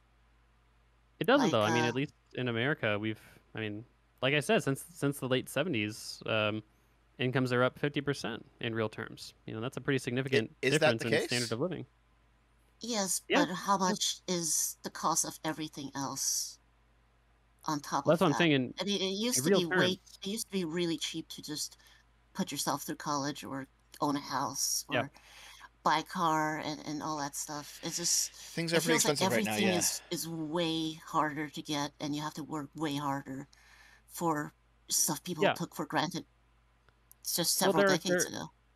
Well, there are some things that have become more expensive, but I don't think that's a result of the gold standard going away, right? It's like I don't think the gold standard going away made housing more expensive, right? Um, I think that what made housing more expensive, arguably, you know, to free marketeers' credits, is a lot of bad regulation, um, and also not enough, uh, basically, government uh, social works in terms of building housing. Right, that's what made housing more expensive. Um, you know, college degree premiums are still really, really high, um, and there's a whole bucket of worms with regards to why college has gotten more expensive in the first place. But again, I don't think it got more expensive because of the gold standard um, going away. So, and again, that that just you know that's beside Or- the point though, because Hmm. you know the broad cost of society, people are more much more wealthy today than they were in the 1970s. So, and that's that's uh, Hmm. probably a degree of magnitude more wealthy than they were in the 19. Uh, you know, 1940s and 50s. The data just doesn't go uh, back. You have to get more Wealthy on historical in your analysis. I, I don't know if that translates to quality of life and wealth in the sense of being able to Yeah. be affo- self-actualizing and yeah, afford a house or afford. You know, yeah. it does seem like people have a harder time right now buying the things that their parents bought. You know. Yeah, and, I a- mean, and we're- product, large product of that is the devaluation of your savings and and well, no, the we- it's climbing just, we're costs of housing would also Mhm. incur more property taxes and all that stuff. Everything's more expensive because of inflation. Yeah, but we're it's just again we're we're assuming that the the problem is that the things that you guys are mostly describing, like it seems like cars and houses are the main things. Um, those well, things they're, they're are big things that people think about and Yeah, they're there's they're Yeah, the like big your big markets, assets, like your- factors ca- causing yeah your that, your car and your house and stuff. That's kind of what I'm saying, right? It's just Mm-hmm. I just don't I don't see why having a gold Mhm. backed currency would necessarily mean that the market structures that are causing housing to be more expensive wouldn't exist, right? Um, it seems like those things would be sort of held equal and but your money wouldn't know- be devalued as much. No, but what I'm saying is that like it doesn't it doesn't matter if your money's devalued because we're talking about relative increase in price. So if we're talking generic increase in price, we've already had real incomes going up by 50% over the last, you know, 40, 50 years or whatever. I is. think I understand. If we're talking yeah, if we're talking in a relative sense like oh, you know, your um your housing is going up much faster than your other costs, um that there's no reason why the gold standard would f- solve that problem, right? We would just Yeah, see yeah. the same problems because it's market failures that are happening. Maybe I can describe it a different way to see if to see if we're to see if at least I understand what you're saying. Okay, so let's say it's an alternate universe where we still have the gold standard. So the government can't just necessarily print money because the gold is is the money. Okay. Well, if that's the case. Let's, let- let- let's say let's say we've got like we're carrying around bags of gold coins instead. We're like we don't even have paper money. It's gold coins, okay? And nonetheless, you can still have housing regulations that prevent the building of apartment buildings. So everything being built built is like urban sprawl. And so it's all a bunch of like single occupant houses. And so then then the uh, the places where poor people want to have to like rent an apartment, there's no apartment building, so they're renting houses instead. So the so the price of housing goes up. And so you still have a situation where rather than buying your house for a thousand gold coins, now your house costs ten thousand gold coins to buy. So there, there's other factors at play Yeah. than just printing money. Yeah, exactly. I mean, and if Okay. anything, a fiat currency allows governments to more easily build housing, right? Because you can e- more easily run a deficit to invest in things like you know public transportation mm-hmm. and you know public housing. If you if you don't have to have you know like you said literal gold coins or you know in the case of you know commodity money you know or not commodity money but like you know uh, what do you call it uh, current uh, a gold-backed currency, you know, in Gold case where you have to have gold that's, you know, on a reserve of um, your currency. It's a lot harder to invest in those kind of things. So Okay, I think I think I get it. To be fair though, this is this is why I'm actually just pro-fascist. And by the way, okay. because every time you have all of these democracy cucks who are voting for NIMBY shit, it ruins everything. So no, I will be the benevolent dictator that builds the apartment buildings we all need. Well, hey, you know, eminent domain exists in our current system, so maybe you don't need a full-blown fascist takeover of the government. First, we just need to abolish like single family only housing. What do you mean? Well, hey, that's that requires a government act, Lilith. My goodness. No, no, that's that's uh, that no, that's abolishing current current regulations that are already in place that allows. Oh, okay. When you well, when, when you say abolish single-family housing, I thought you meant Oh no, you I, shouldn't I be meant allowed to abolish single-family fa- house. No, I was single family housing zoning laws. Zoning, yeah, single-family zoning. I see. Oh, zoning, not. Oh, I heard owning. Oh, I was like, oh my god, abolish owning housing. I was like, Jesus. No, no, zoning. I What get it. I get it. libertarian yes. are you? I love owning houses and and owning properties. It's it's good. Hmm. It's Okay, so never you're- abolish that. let's, let's let's keep rolling. Let's keep going. This means they want you to have the purchasing power of just 86 cents an hour. The rest gets absorbed by this behemoth of a government. And you say we need government to help the poor. Ask yourself, how many poor people would we actually have when someone working at a job that makes just $6,000 a year would have the purchasing power of someone currently making over 100,000? It's not even any contest. Poor people would be a thing of the past. Another argument that statists make goes along the lines Uh, of, well, if the okay. government doesn't regulate businesses, then what will stop them from exploiting their workers as well as the consumer? Yeah, they love using that word exploit. It doesn't really mean anything, but it sounds bad. See, the thing is, in an anarcho-capitalist society, you get to vote with your dollars. So if a company starts to be unethical towards its workers or gouges prices, then all you have to do is support its competitors or stop buying from them, and they will either have to correct this behavior or go under. And of course, workers will be free to work elsewhere. If someone's not giving their workers good conditions or the pay they deserve or whatever, there will be a financial incentive for a competing businessman to offer them a job with better pay and conditions. By the way, don't let them snow you. We don't have a problem with people getting together and voluntarily forming labor unions. We're all for free association, and unions that were set up in the past like this offered their workers a lot of benefits, including health benefits, unemployment insurance, and many others. We only object when government monopolizes it. They only allow one particular union to exist in the industry, and they force all workers in the industry to join. But then, what incentive do those unions have to make their workers happy or feel they're getting value for their dues? It, Another argument that on. gets used alongside is, well, is that the current state of unions though? That the government Not for forces many unions. places. You- For many You're not in America. except- I, I don't. You're both like yes, know. no, yes, no, yes, no. It's not government enforced, but it's like Contract lots of places yeah. you only get only one Mm. union to choose Yeah, yeah. from. Yeah. And there's Um, you're not allowed to start alternative ones. Mm. Some places have sectoral unions where it's like one union for the whole, basically the whole sector. Actually, um, there are, like.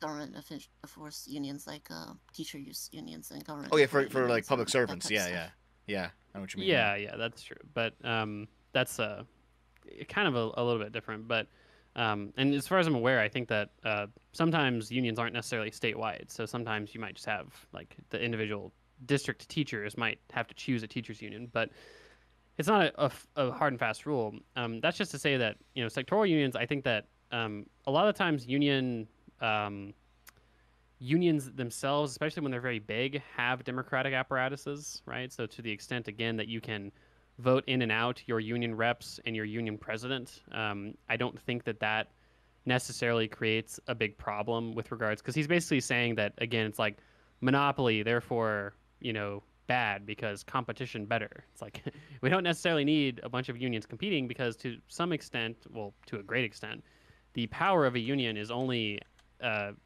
completely proportional to how many members they have and how many how much you know collective action they can inspire.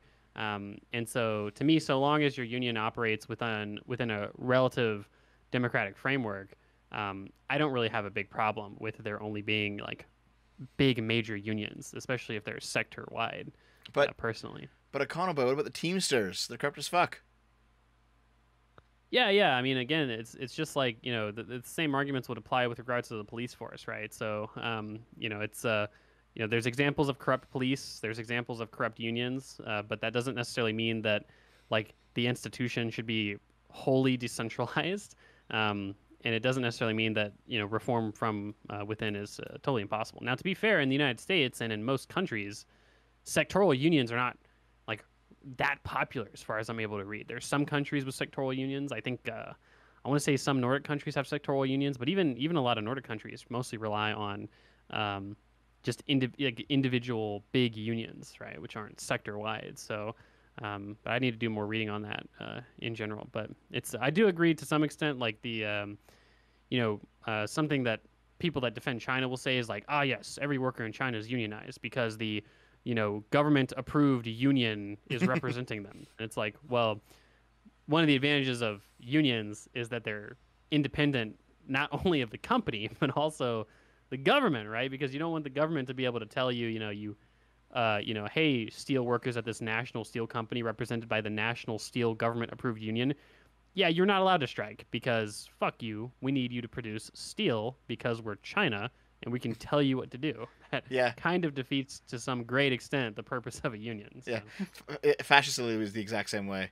I've, I've been doing a lot of reading about their economic system uh, since we last talked about it. In fact, and yeah, there was a lot of like nationalized unions for just for an entire sector of the end of of the uh, of the economy, and it was all Yeah. just state controlled, all just state controlled stuff. Well, it's funny because a lot of a lot of fascists will they'll say, "No, no, no, we're not advocating for China's economic model," and then they proceed to literally verbatim describe exactly how China runs their economy. And then a lot of socialists will say, "No, no, no, we're not fascist," and then they'll describe the Chinese economy, and it's the exact thing that fascists, in terms of economics, advocate for.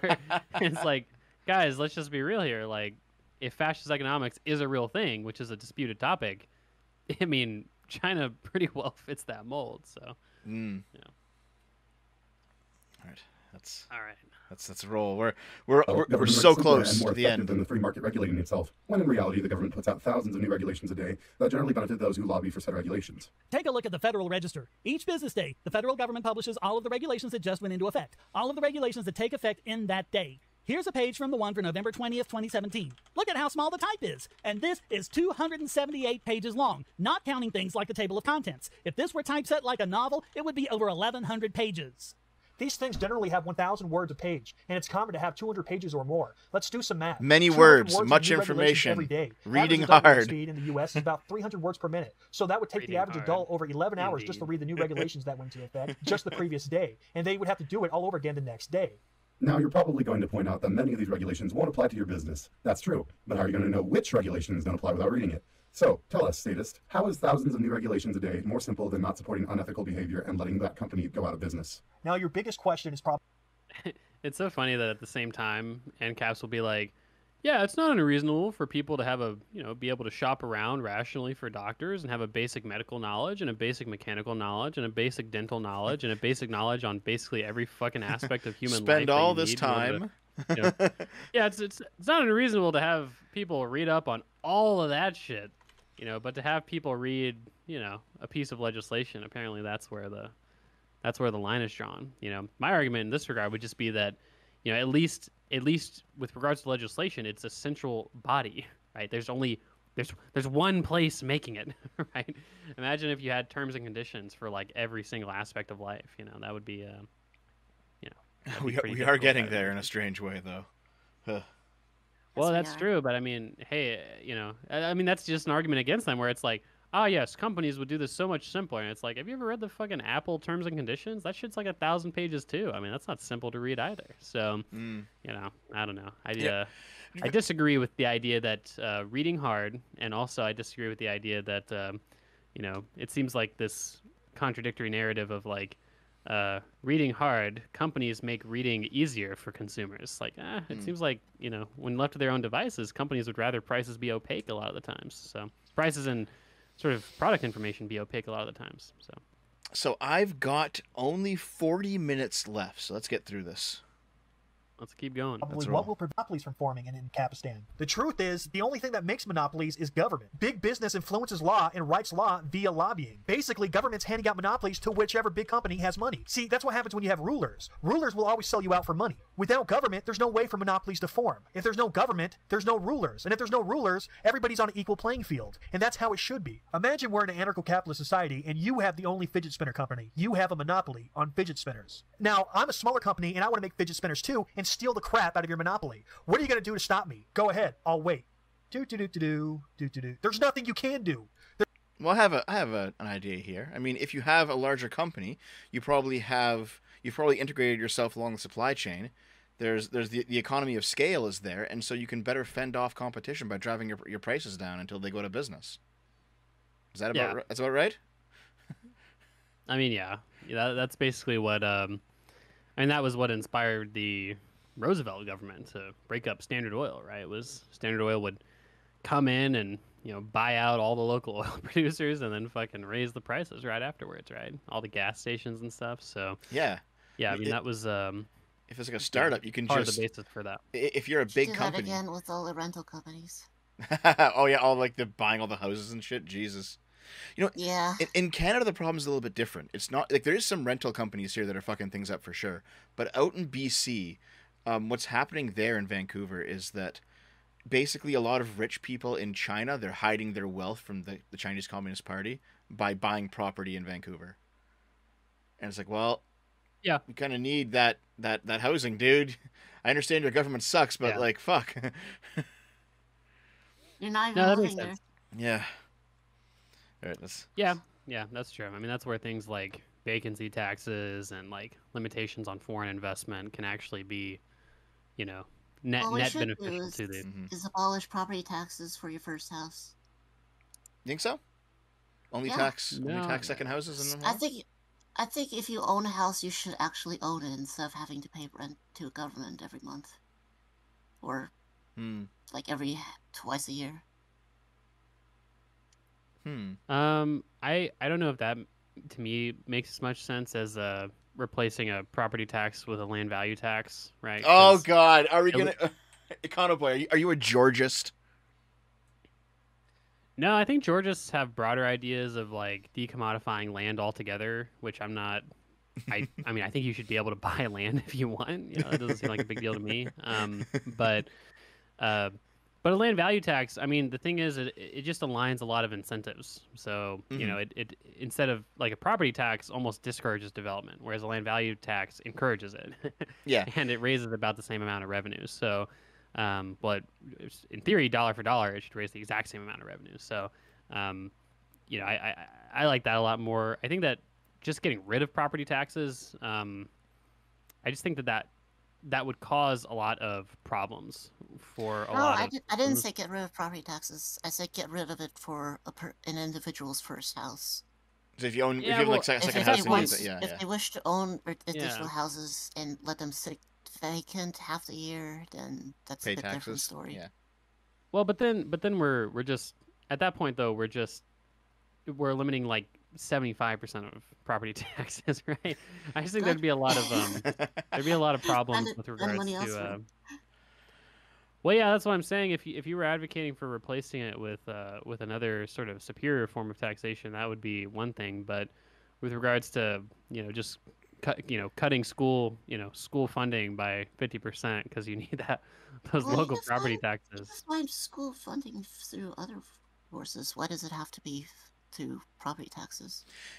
You see, Well, that's I- what I'm saying. You know, you could argue Yeah. for alternative forms of taxation, but you just you haven't you haven't mentioned like you haven't mentioned where that money would Okay, come from yet. out- out So of it curiosity, like you said is- yeah, go on. is it the case in the United States that I, that, well, that- I, that- did, I don't have to have an alternative to say that it's immoral to tax people on the only house they have.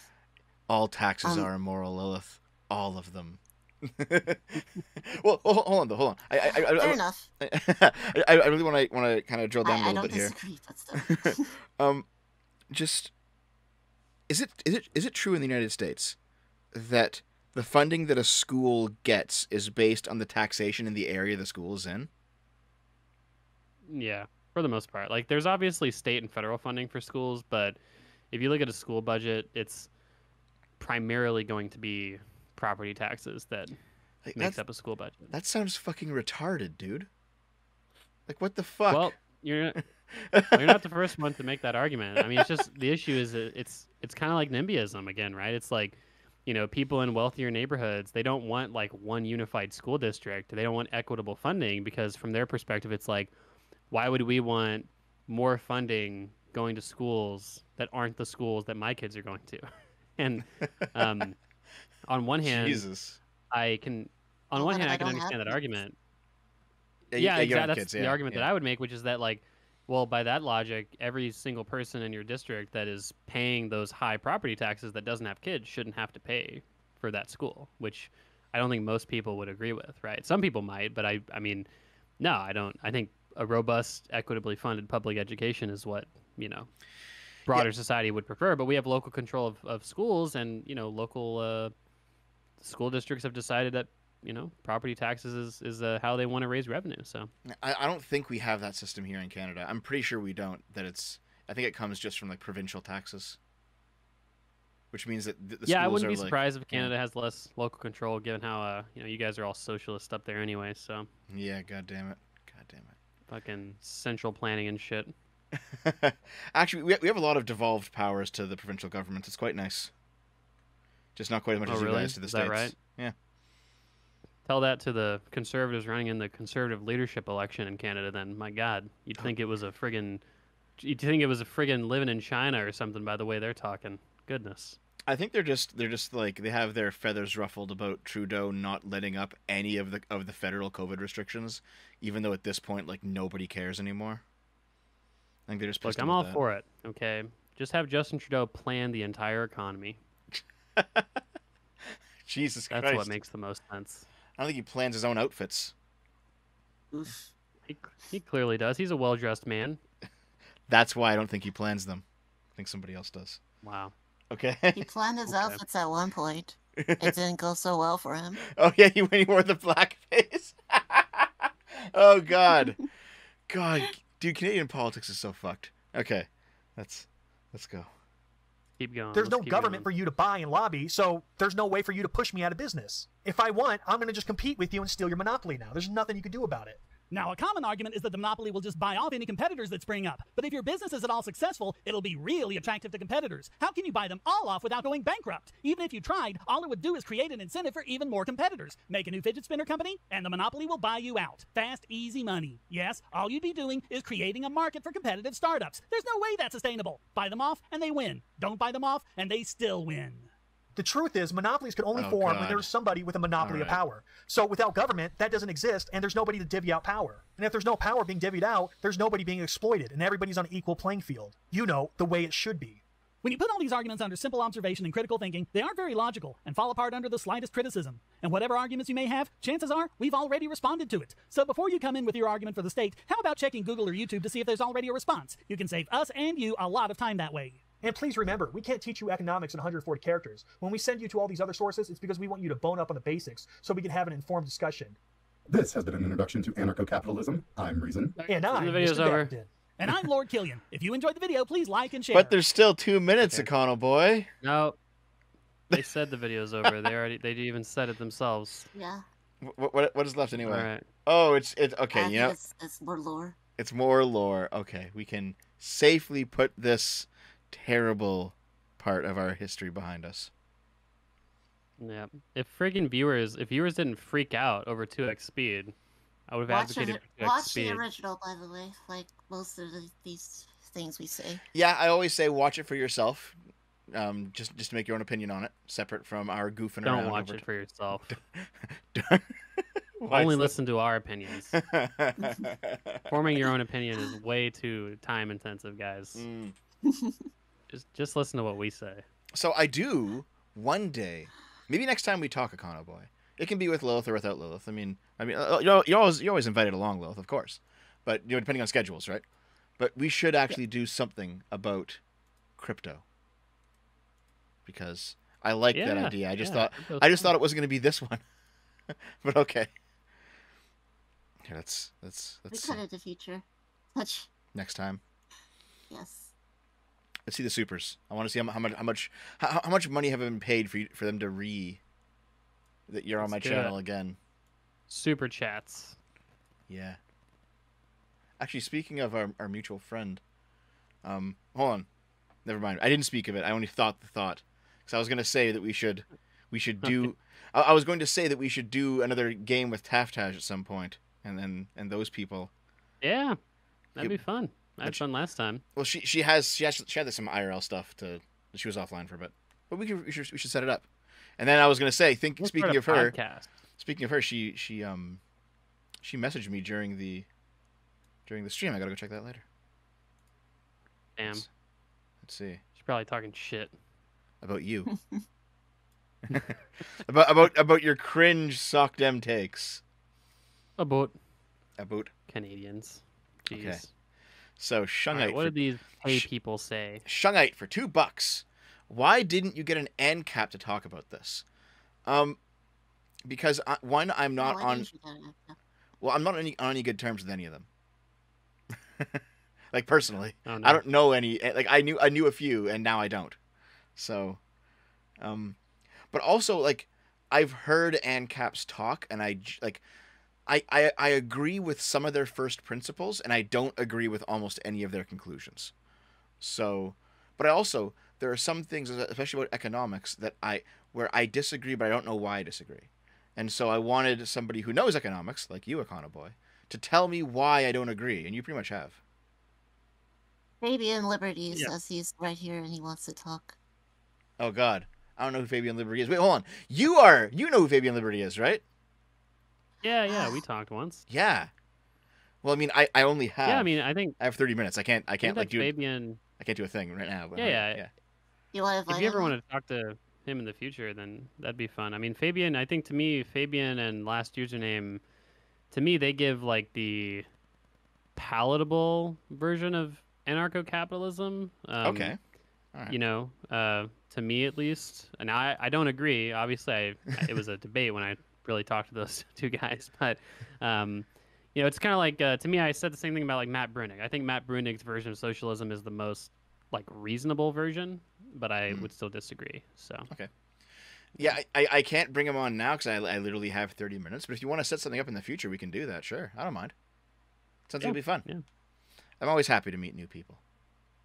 Uh, let's see. Yeah. Yeah. Cody Doge for $5. All these criticisms involving straw manning ANCAP arguments and grossly misunderstanding how things work now. Oh, oh god, Um, why? like I, I know it's a super chat, so you can't put too many characters in it. But like the, the problem with the you don't Uh, understand Any more characters from that person would have only led to more of my fucking brain cells leaving my brain. My god. well, the thing is, like in general, the problem with the "you don't understand this" reply to any argument is like it, there's nothing to latch onto. Like, like, like there has to be more to it than that. Like, you don't understand. Like, okay, fine, I don't understand, but like, where, like, how? You know, what did I say that's wrong? Like, there's Yeah. there has to be something more substantial than that. Okay. That's true. I don't know. I mean, it's kind of like we said at the very beginning, where it seemed like it, it seems like there's a lot of people online that will say you just don't understand X or Y, and then it it seems like either they themselves don't understand it, or um, it turns out that you know they explain it in a way where it's like, no, I I totally like I got that already, you know, and it can just be a little frustrating. So Mhm. hmm You see that a lot in like Twitch politics debates. Happens all the time.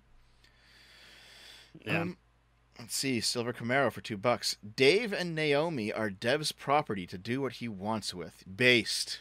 Yes. Agreed. Uh, Wimquin for twenty dollars. Thank you very much. Dev, I recommend you to check out Adam Friended's reading list. Almost all the books on it are amazing and eye-opening. Well, I, I am friends with Adam. I think you are too, Econoboi. We're all friends. Yeah. And yeah, I've read my uh, videos. yeah. I, I, I haven't gotten his list from him yet, but I have. I know we- we've read some of the same books, so I'll I'll I'll poke him if he has if he has like an, an official list now. I'll poke him for him. Okay. Cockroach Man for five bucks. I love all caps. I love opioids. I can't go a day without opioids. I need my opioids. All right. Well, that's that's five dollars you can't put towards opioids, dude. That's yeah. Someone asked why we didn't respond to a more recent ANCAP video. There, there is at least one guy who's an ANCAP who's like a viewer of mine who isn't around tonight, but he kept saying, "Watch this one, watch this one, watch this one." So this is the one that I chose. Um, let's see. Patrick for five dollars. You heard it here, folks. Lilith is a thought. Is that true?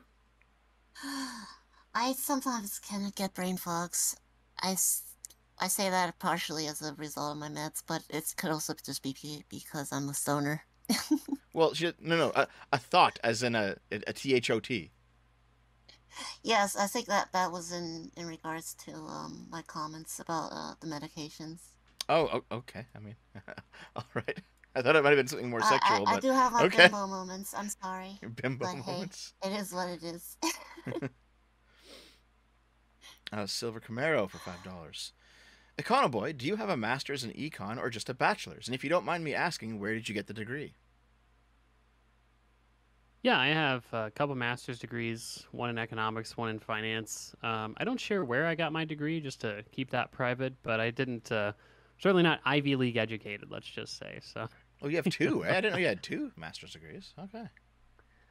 I do, I do. Yeah, I just kind of, you know, most people end up doing grad. You know, they they kind of work for a couple years and then do grad school. And I I worked. I just worked while I did grad school and basically was really really poor and tired all the time in grad school. Yeah. Um, and uh, it was no fun. But I'm done now, so I, I ended up. Uh, Nice. You know, to, to me at least, that was the easy thing to do because I um, I certainly didn't envy. It seemed like the much harder thing to do was what my classmates did, which was like work for five years, get a wife, start having kids, and then your your kids are like three and five while you're getting your MBA at night. I mean, that sounds way harder. That than sounds pretty rough, What. I did, which was like, you know, just burn through it all as quick as possible. So To be fair, I when I got my bachelor's, I had dropped out, worked like blue collar jobs, and then come back to it. And I basically I wanted to get it done as fast as possible. So I I worked night shift and then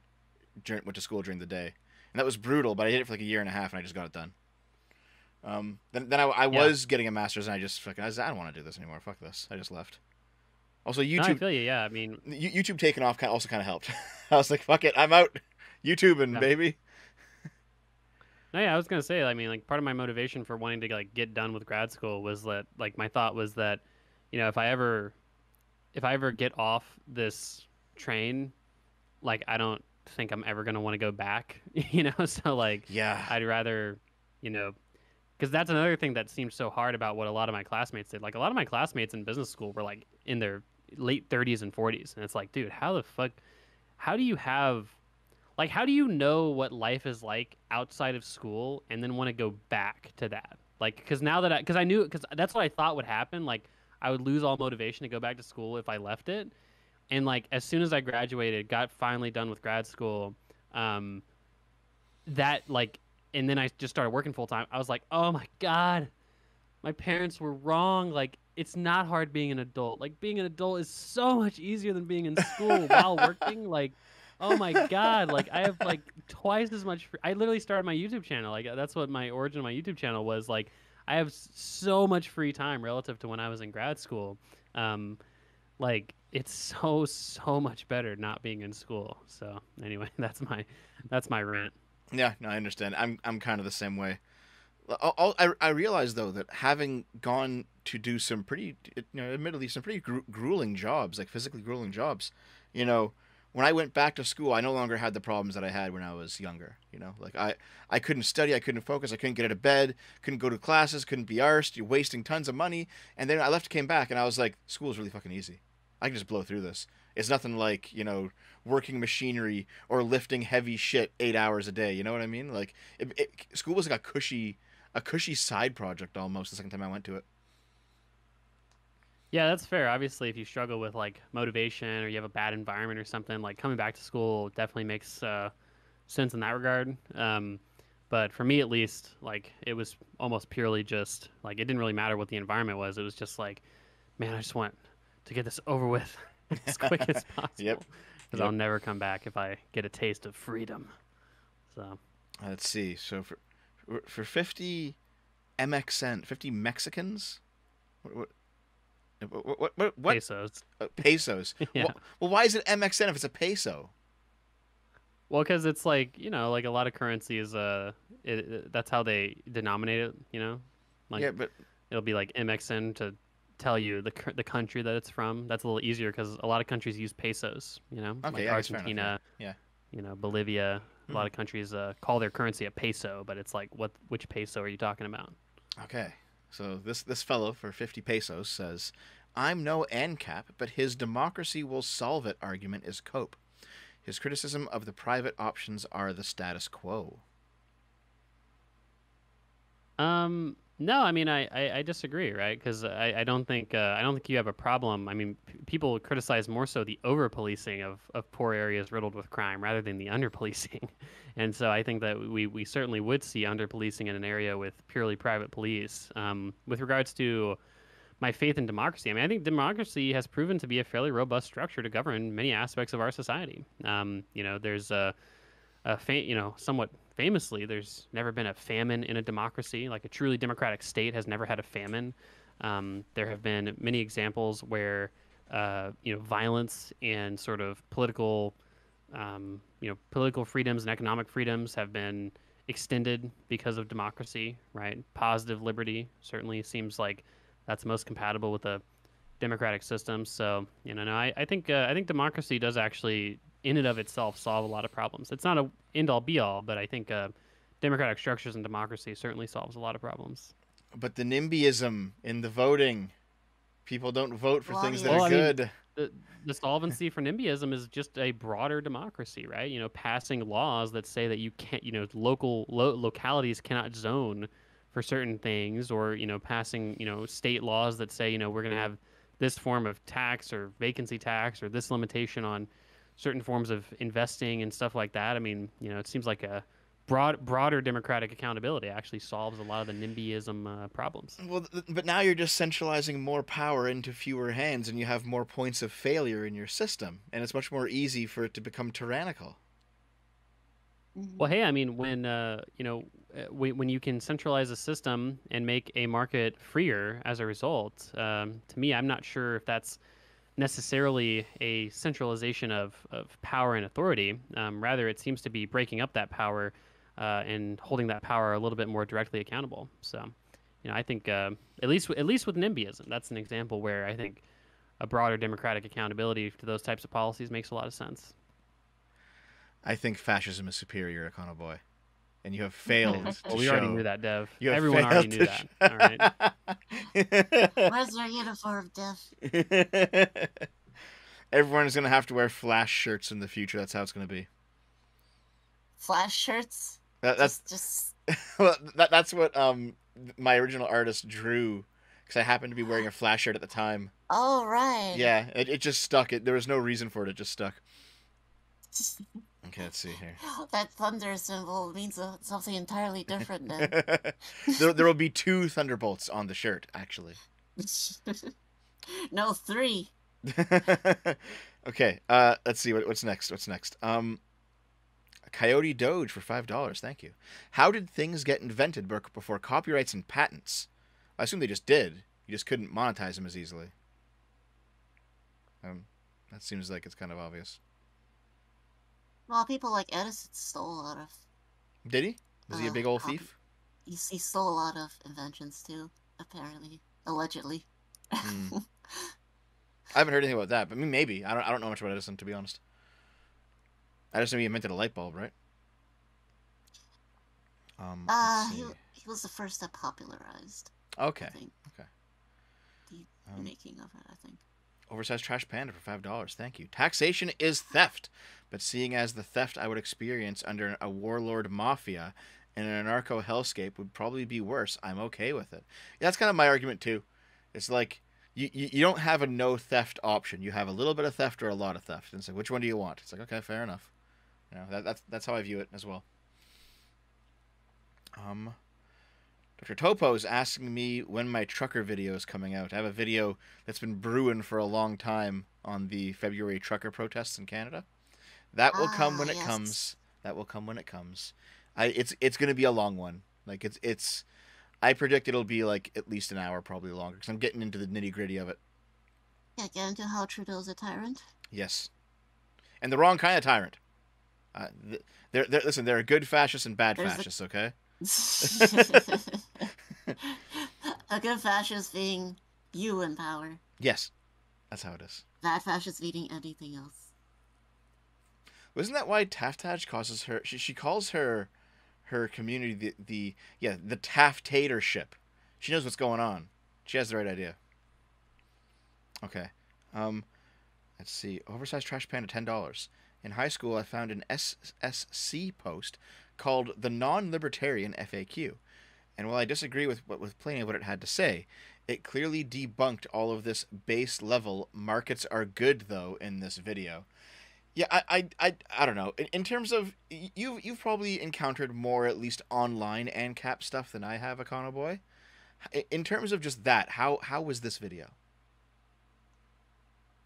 Um, in like just how quality was it? I guess. Yeah. How good were the arguments? Yeah, I mean, I don't.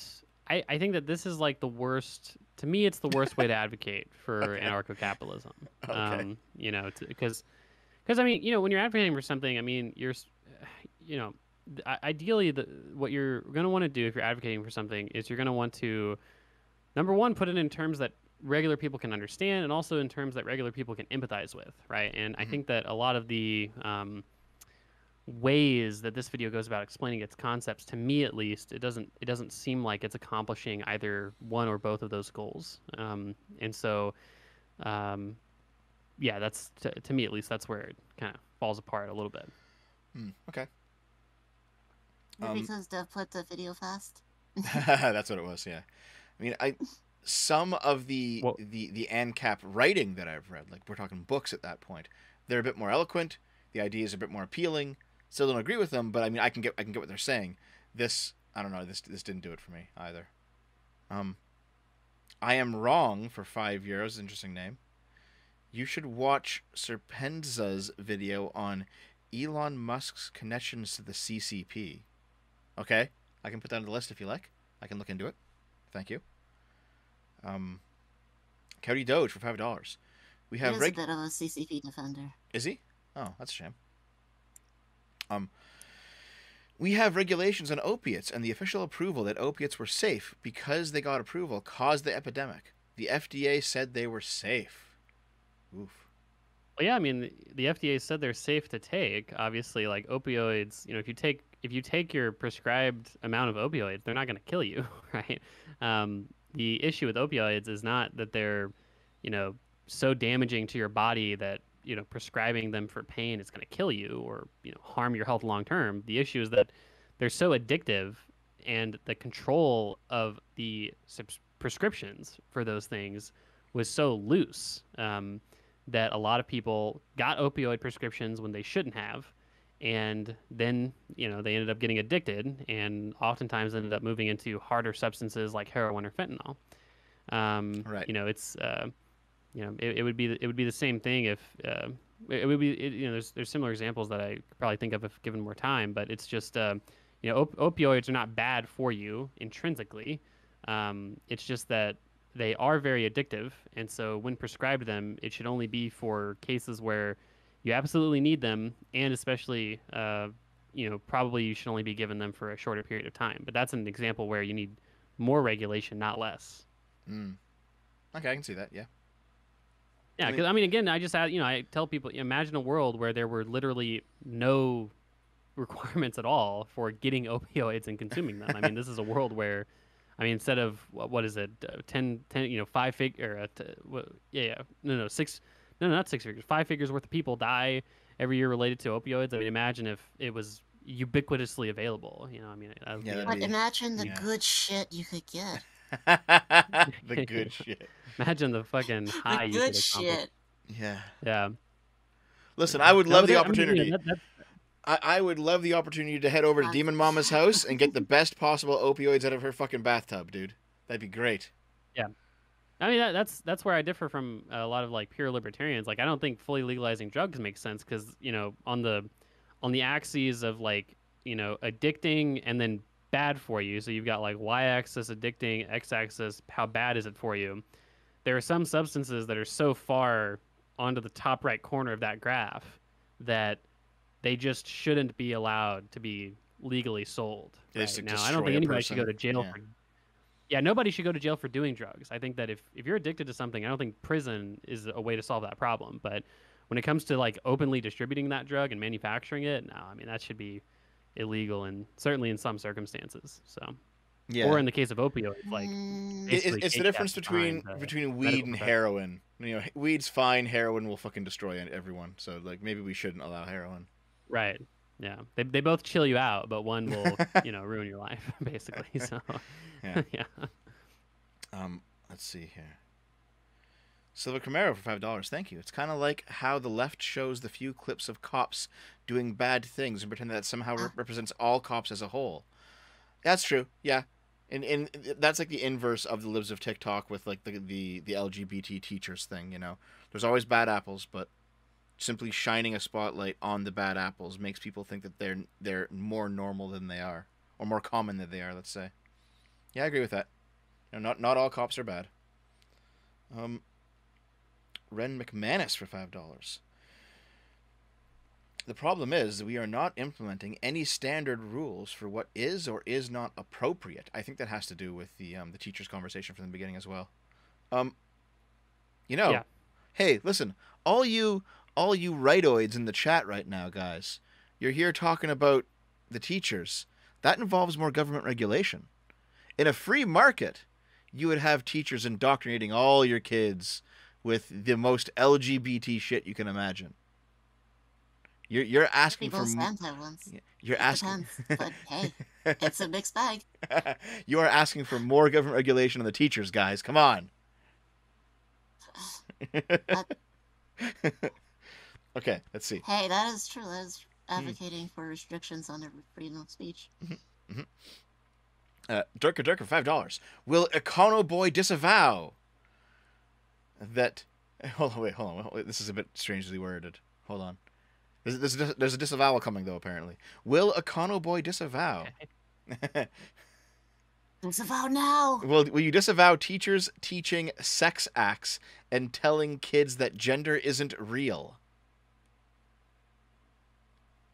Yeah. Um, so again, I think that when we were talking about, I just have to know what you mean when you say teaching sex acts, because it seems like some conservatives are of the, you know, some conservatives are of the opinion that, like, even a very basic sexual education is, um, what do you call it? Um, you know, in, in, inappropriate, right? Mm, yeah, yeah. exactly. So, um, you know, for instance, like a, you know, an adult touching like a young boy's penis, like that's a sex act, right? But if I tell a kid, hey, you know, like if I'm a teacher of a six or seven, you know, year old class of students or whatever, and I say, you know, to the boys, because at least in in my sex education, sex education was actually segregated, so it was like the boys go in one room and the girls go in another. Um, and um, you know, if I'm in a room full of boys and I say, you know, hey, you know, if a grown person touches your penis, uh, you know, that is not okay, and you should tell a trusted adult about that. You know, a teacher or a, a police officer, or your Mm-hmm. parent or something like that about that. Um, like I'm telling them about a sex act, but you know, that's uh, the different. Um, yeah, the chat is not. to, um, the chat is now saying he's saying no. He's he won't do it. He won't disavow. He won't do it. Oh God.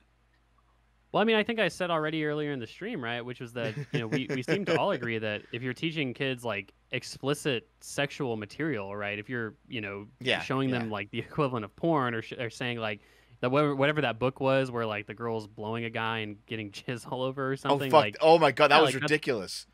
Jesus, I remember yeah, like seeing that's that. obviously not appropriate for you know a six or seven year old, right? Yeah, for young yeah. Kids, that would be like that would be crazy. Um, and so, um, you know, uh, yeah, like explicit sexual acts. The answer is no. Like I would not. I, I, I do not think the school should be teaching kids like fucking Okay. what doggy style and shit is and like you know facials and stuff. But Okay, um, okay. yeah. What was something the what was the second part of the There's question? there- there was there's like no- two parts. You- We're running out of time, so I'm just gonna ask you this: Do you? I think Oh, it shit. says like uh, Oh, te- gender is teaching- teaching, kids that gender, gender isn't real. Yeah. I don't. Even, I just, does that even happen? teaching- I don't think that even happens. I, I haven't Yeah, heard anything that about even that. I don't know. Yeah. I mean, gender's well, it's probably real. the same so- thing. Like there I'm, there might I'm be sure maybe some crazy ones too. I haven't seen evidence of it. I, I've looked. I haven't seen evidence of that. Yeah. one. Yeah. it might be the same thing where like maybe there's some school districts that have different you know n- sort of nebulous policies in that regard um so like i don't know like i, I don't um so d- d- so i don't i don't know most people that would say gender is not real the question is just is gender a social construct right and for me i don't really see a big problem with teaching kids like hey some people um, some people have penises and they identify as non-binary and their pronouns are they them like i just to me that's a fairly descriptive understanding of the world that surrounds children um, that's not judging like whether or not people are correct in identifying as non-binary or identifying as trans. Um, but descriptively, it's like, hey, if you see someone who is like masculine presenting and they say they're non-binary, what does that mean, right? This is what that means, and this is how you should refer to that person, um, at least if you want to respect them. Um, I don't really, i just don't see the problem with that personally. That's a, that's a descriptive lesson. It's not assigning any morality or any weight to it. Econoboi, do you disavow Penis Inspection Day? What is that? I've never even heard of this. Are you serious? What's penis inspection? day? No, oh, what are you Okay. talking about? Are you, you haven't heard of Penis Inspection Day? Give me a second. I mean, I can imagine Never what it is. it of penis inspection day bean. It's not a meme. has penis inspection day. Everyone has Penis Inspection Day at school. Okay, here we go. Give me a second. I'm gonna pull it up. Here, you'll be able to see this. Econoboi, just take a look. There it is. And I'll pull it up on screen real quick so you can read this out, okay? Mandatory penis inspection. Okay, Academy of Information Technology here it is, guys. and Engineering. Yes. All right. To all male students, faculty, and staff of Riverside High School, Loudoun County Public Schools are required to conduct, to conduct mandatory penis inspections on all male students, faculty, and staff. In accordance with Health Code 9.51, this year's penis inspection will take place on Tuesday, March 12, 2019, during connections. All circumcised males should report to the guidance suite in 217. All uncircumcised males should report to the nurses suite 106. There will only be one makeup date on March on uh, Monday, March 18th at 22 2:10 p.m. If you are un- unable to attend either inspection date, a district official can arrange to meet with you at your own time. All male students must attend a penis inspection or they will not graduate. A traditional Western pass or fail method will be used in the inspection. Please ensure that Pass all all penises are clean and orderly, as there will be no special circumstances. Note that a failing grade will be given. Note that a failing grade will be given to any individual with an erection. All right, guys. Yeah, I'm looking this up. This this appears to just be like a prank. This isn't like a It real, like it feels like Okay. not a real thing. Yeah. okay. Um, so there have, I think, since like 2009 or something, penis inspection day. It started as a 4chan meme, and now like people have taken to posting very official looking notices in their high schools just to troll them, and it's been going for for Yeah. a while now. It's pretty fun. It's pretty funny stuff. Anyway, listen, yeah, you guys. could probably get away with that. Like a, you know, people like making in like making a version of the Onion, but like don't make it obvious, Mhm. like irony, right? I bet a lot of people would end up posting your stuff like, oh my god. Local Oregon public school, you know, makes kids do psychedelics in order to sympathize with drug dealers or something. Like, It, it's definitely a prank. The Yeah. the guy something like that. the guy. If you look at the signatures, it says Richard L. Dong, head penis inspector. and the signature's a penis I didn't drawing. see that.